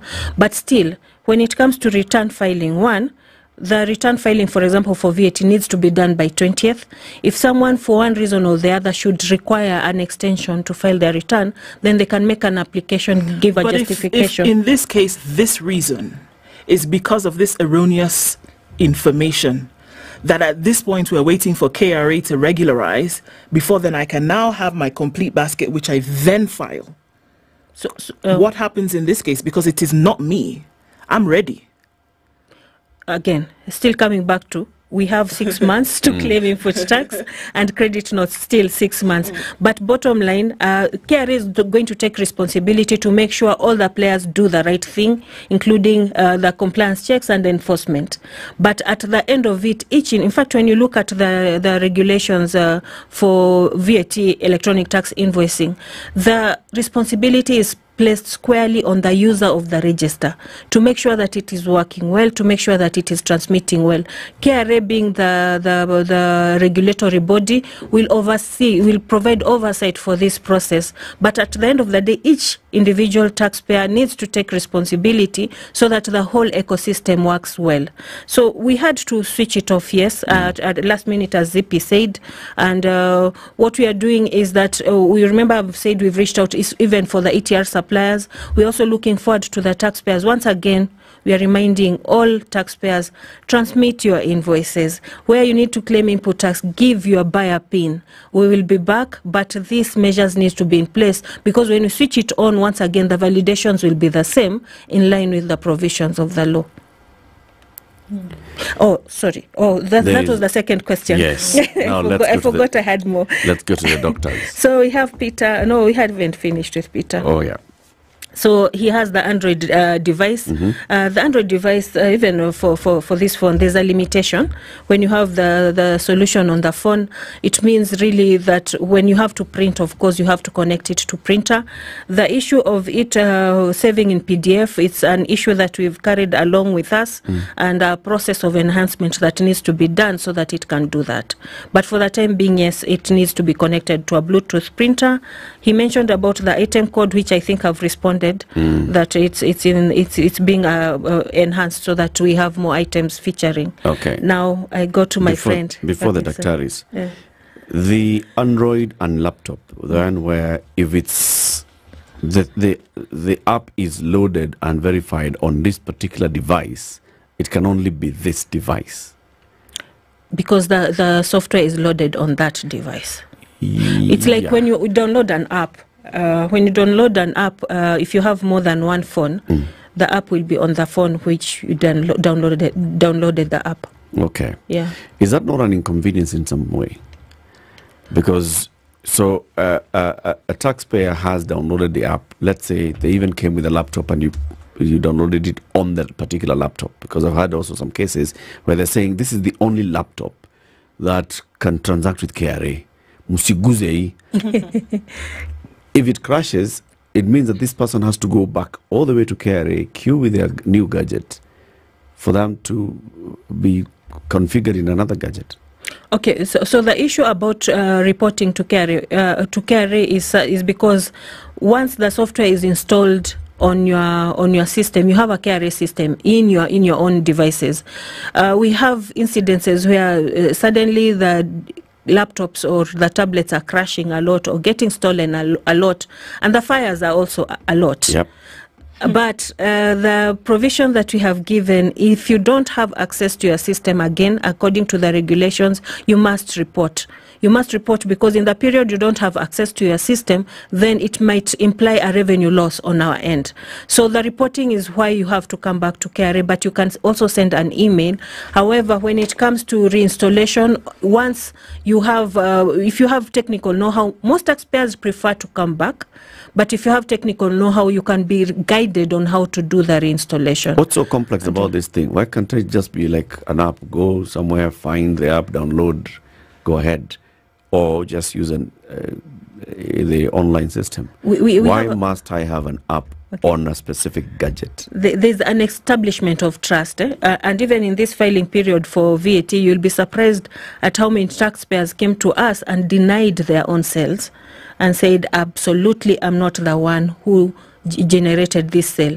So that initialization process is so that we also have that, it links you to that device so that at the time you're denying, we can actually be able to tell you there's a reason why we know for a fact you are the one who generated these invoices. So coming to the security features that actually go with that app. That's why it has to be installed on that particular uh, device. But then I need to qualify that also.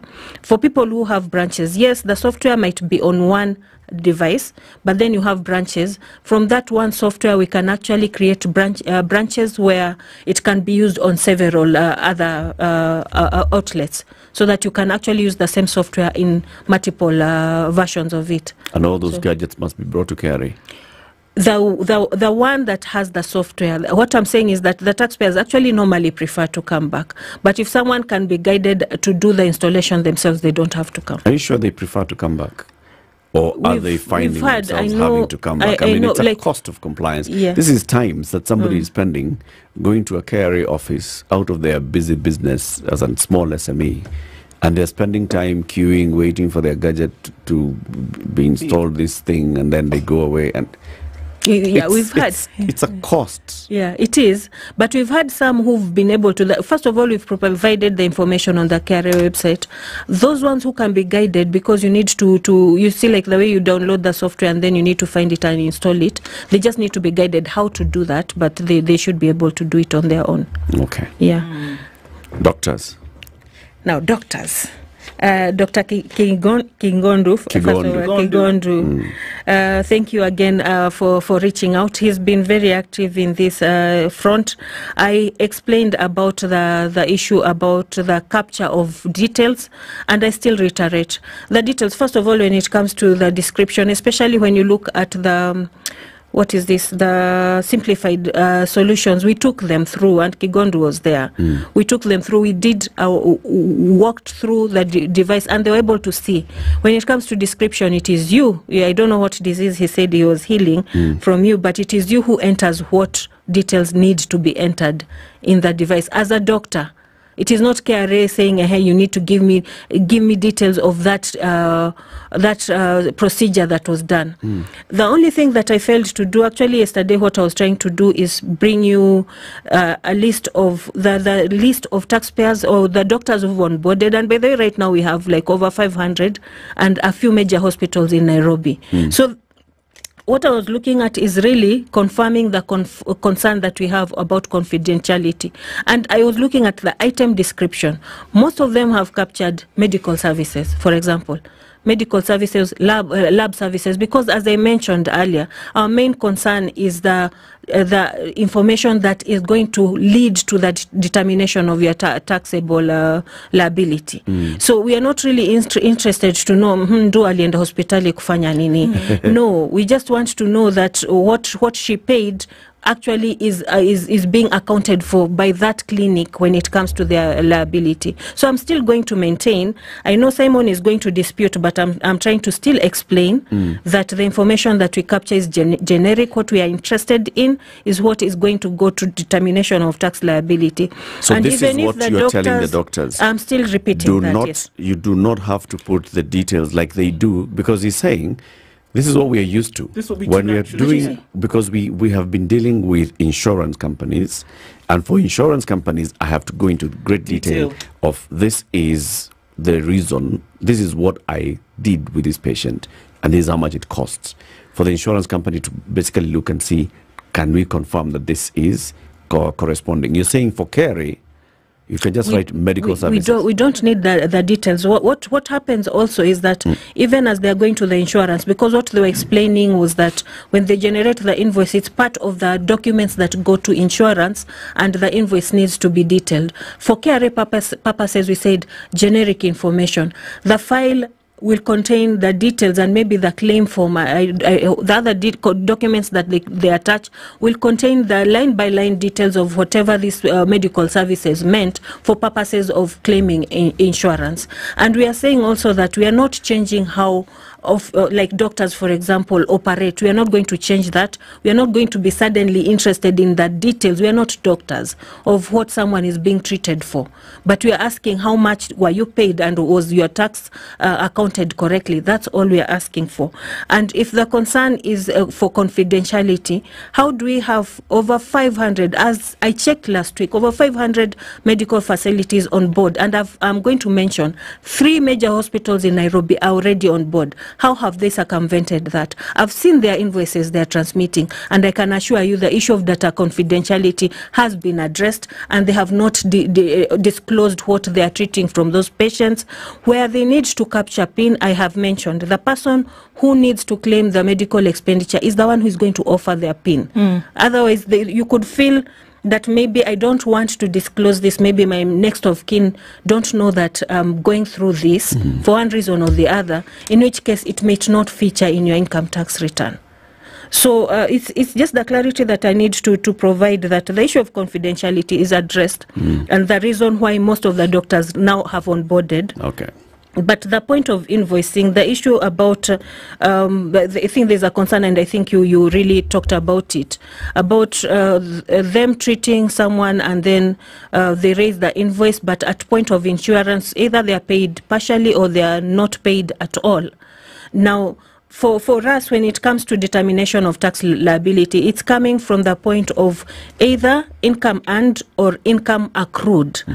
In the in the case where someone has not paid you and it goes to insurance and maybe for one reason or the other they did not agree to pay the whole amount, you can reverse that amount and the provisions are in the system to be able to reverse. You account for only the taxes that are due from you, and that provision is there. So um, maybe the other administrative issues I think they would have to pick with is why insurance or NHIF is taking too long to pay them because now that won't be within my scope to talk about. There might be other reasons on the other end, Mm. but we're just explaining for KRA, you account for the invoice is a record of transaction. It's actually saying this transaction was completed and this is how much it was worth, whether you are paid or not. Mm. But then at the point where you realize that this payment is not coming through, and it happens in the medical field, sometimes someone doesn't make it and they can't pay. There's nothing much that can be done Yeah. and therefore there's provision to reverse that that supply and no issue from us because such things happen hmm. Okay. Does it also apply to other businesses where you have billed, you've issued an invoice, but then your client takes forever and a day to pay?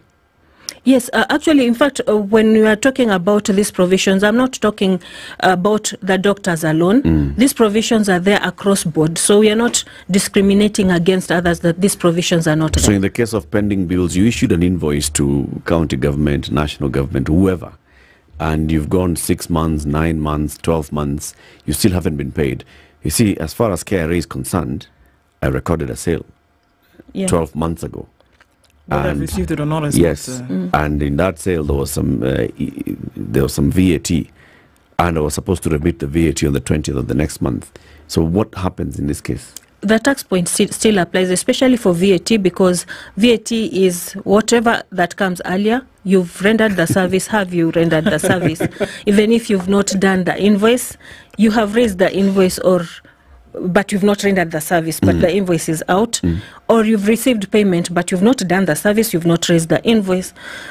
Whichever comes Whichever earlier. comes earlier. Whichever comes earlier. Where? Okay. Time for one more question. Actually, but let's let's pick the ones in social media. There are very many. Yeah, there are quite some. Okay, Mm. so um, Wairimu was asking, can you put two va- uh, two-factor authentication to verify users on, on any device instead of requiring that a specific device must be used? There must be technical ways around this. Yep. Um, so why is removal from special tables such a headache even after registering on e-TIMS? Two months later, I still cannot file my VAT. We can take those.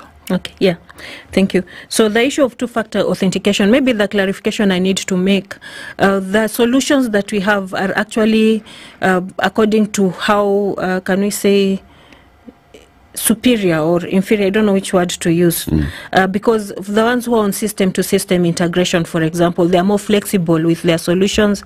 They can have more than one user using, they can give, uh, like the way they, they, they, they, they're saying, give uh, passwords to various users so that uh, uh, at different points someone can be able to, to, to use that solution and uh, maybe one ERP can be used maybe across the country. But then here, when we talk about the solutions that we have, like the client solution, really it was aimed at a small taxpayer. Mm. So if you have a taxpayer who is more advanced, they probably need a more advanced solution that they also don't uh, minimize the space they have when it comes to their efficiency because we've, they've limited themselves to a solution that probably a small taxpayer should be using. Mm. So each solution has its own limitations, and those ones on the system to system integration, they'll find that they are having a better experience, more flexibility in what they want to do, and basically more efficiency in their operations. Now, removal from special table. First of all, um, this is uh, an enforcement measure. Whenever, I don't know, whenever someone, uh, for example, is uh, non-compliant when it comes to filing their taxes, someone has not been uh, transmitting invoices, is uh, a non-filer or non-filer for an extended period of time, it's a, it's a restriction. Basically, what we are doing is drawing out that taxpayer to, if that person doesn't exist, and we've had people on the special table for the longest time not complaining, not do anything, Mm. the next consideration would be like, okay, so do we disable these pins? Because this person does not exist. But definitely this person exists. Uh, when they come forward, that person exists. And what the stations will be doing now that uh, the tax stations will be doing an analysis. It's not only about onboarding it, so that's the information that a taxpayer needs to know. There are other non-compliance issues that have been uh, identified and need to be addressed. And the station will walk that journey with you. They may have to raise an assessment. You may have to pay taxes before you are removing, removed from the special table. So one case might not apply to everyone. Another person might just be because he didn't onboard e-TIMS, in which case it's very quick. But then for some, there's a bit of a check that needs to be done. Okay. So what I would advise these taxpayers to follow up with their stations and uh, to address the issues that have been raised so that they can be removed. Is this deadline? When is the deadline? Deadline, yeah. Deadline is six days to come. Um, so it's it's uh, 31st March. Where? And uh, so, what happens beyond the deadline? No, I, I would actually like to say that we still have six days. Mm. Uh, they're just on board. Uh, you'll find most of the solutions that we have, even USSD. I don't know. You said you used it. How long did you navigate through it? Have you used it? This was a quick one. Yeah, just just on board. Just take two minutes on board.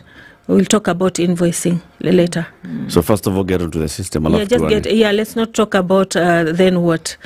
Uh, the law, as as it is. Yeah, what does the law say? It did not have provision for extension. Mhm. So even the 31st March was was uh, I think a, like a grace period, so to speak, because we realized many taxpayers had not onboarded. So, basically, what you're saying is from the 1st of April, all my invoices should be eTIMS. Yes. Right? Yeah. I should generate all my invoices on eTIMS. Mm. Uh, if I want to make a claim of you know some expenses at the end of the year, they must be supported Yeah. by eTIMS invoices. Mm. Yes, correct. And if I don't have, then that is not an expense. Yes, it's not a valid expense. Okay. If somebody would like to ask more questions about this, what do they do? We still have. Um, f- First of all, I would encourage all taxpayers. What, what- the issue that is coming up very frequently is that uh, they, they, they don't have access to information. We've allowed that, we've availed information on the website. We are conducting as many taxpayer education sessions as possible. When you see the notices, please hop on board. Hop on board because every week, even as we speak right now, there are some sessions going on. Please hop in so that you can be able to interact with the KRA officers. It doesn't matter whether you're in Nairobi or you are across the country, those sessions are going on. Mm. So don't ignore, just come on board so that you can have uh, the information that you require to on board. But then you can reach out to your nearest tax service office uh, in case you, you need to, to consult one on one and you should get the assistance that you need. Uh, otherwise, the main e-TIMS office is on JKUAT Towers, uh, Kenyatta Avenue. If you are nearby there, you can also walk in, 8th floor. And Mnapeana you should chai? be able. Sasa chai ni shida kidogo, lakini we can give you water. Water. Sawa. Water Hakamba Wangwe, thank you very much for joining us. Hakamba is the chief manager in charge of e-TIMS at the Kenya Revenue Authority. We've had two hours of dedication to have this conversation because there's been huge public outcry, people reaching out to us and saying, bring those people. She's come, she's explained. Thank you for tuning in. Have a lovely day. It's 10 a.m.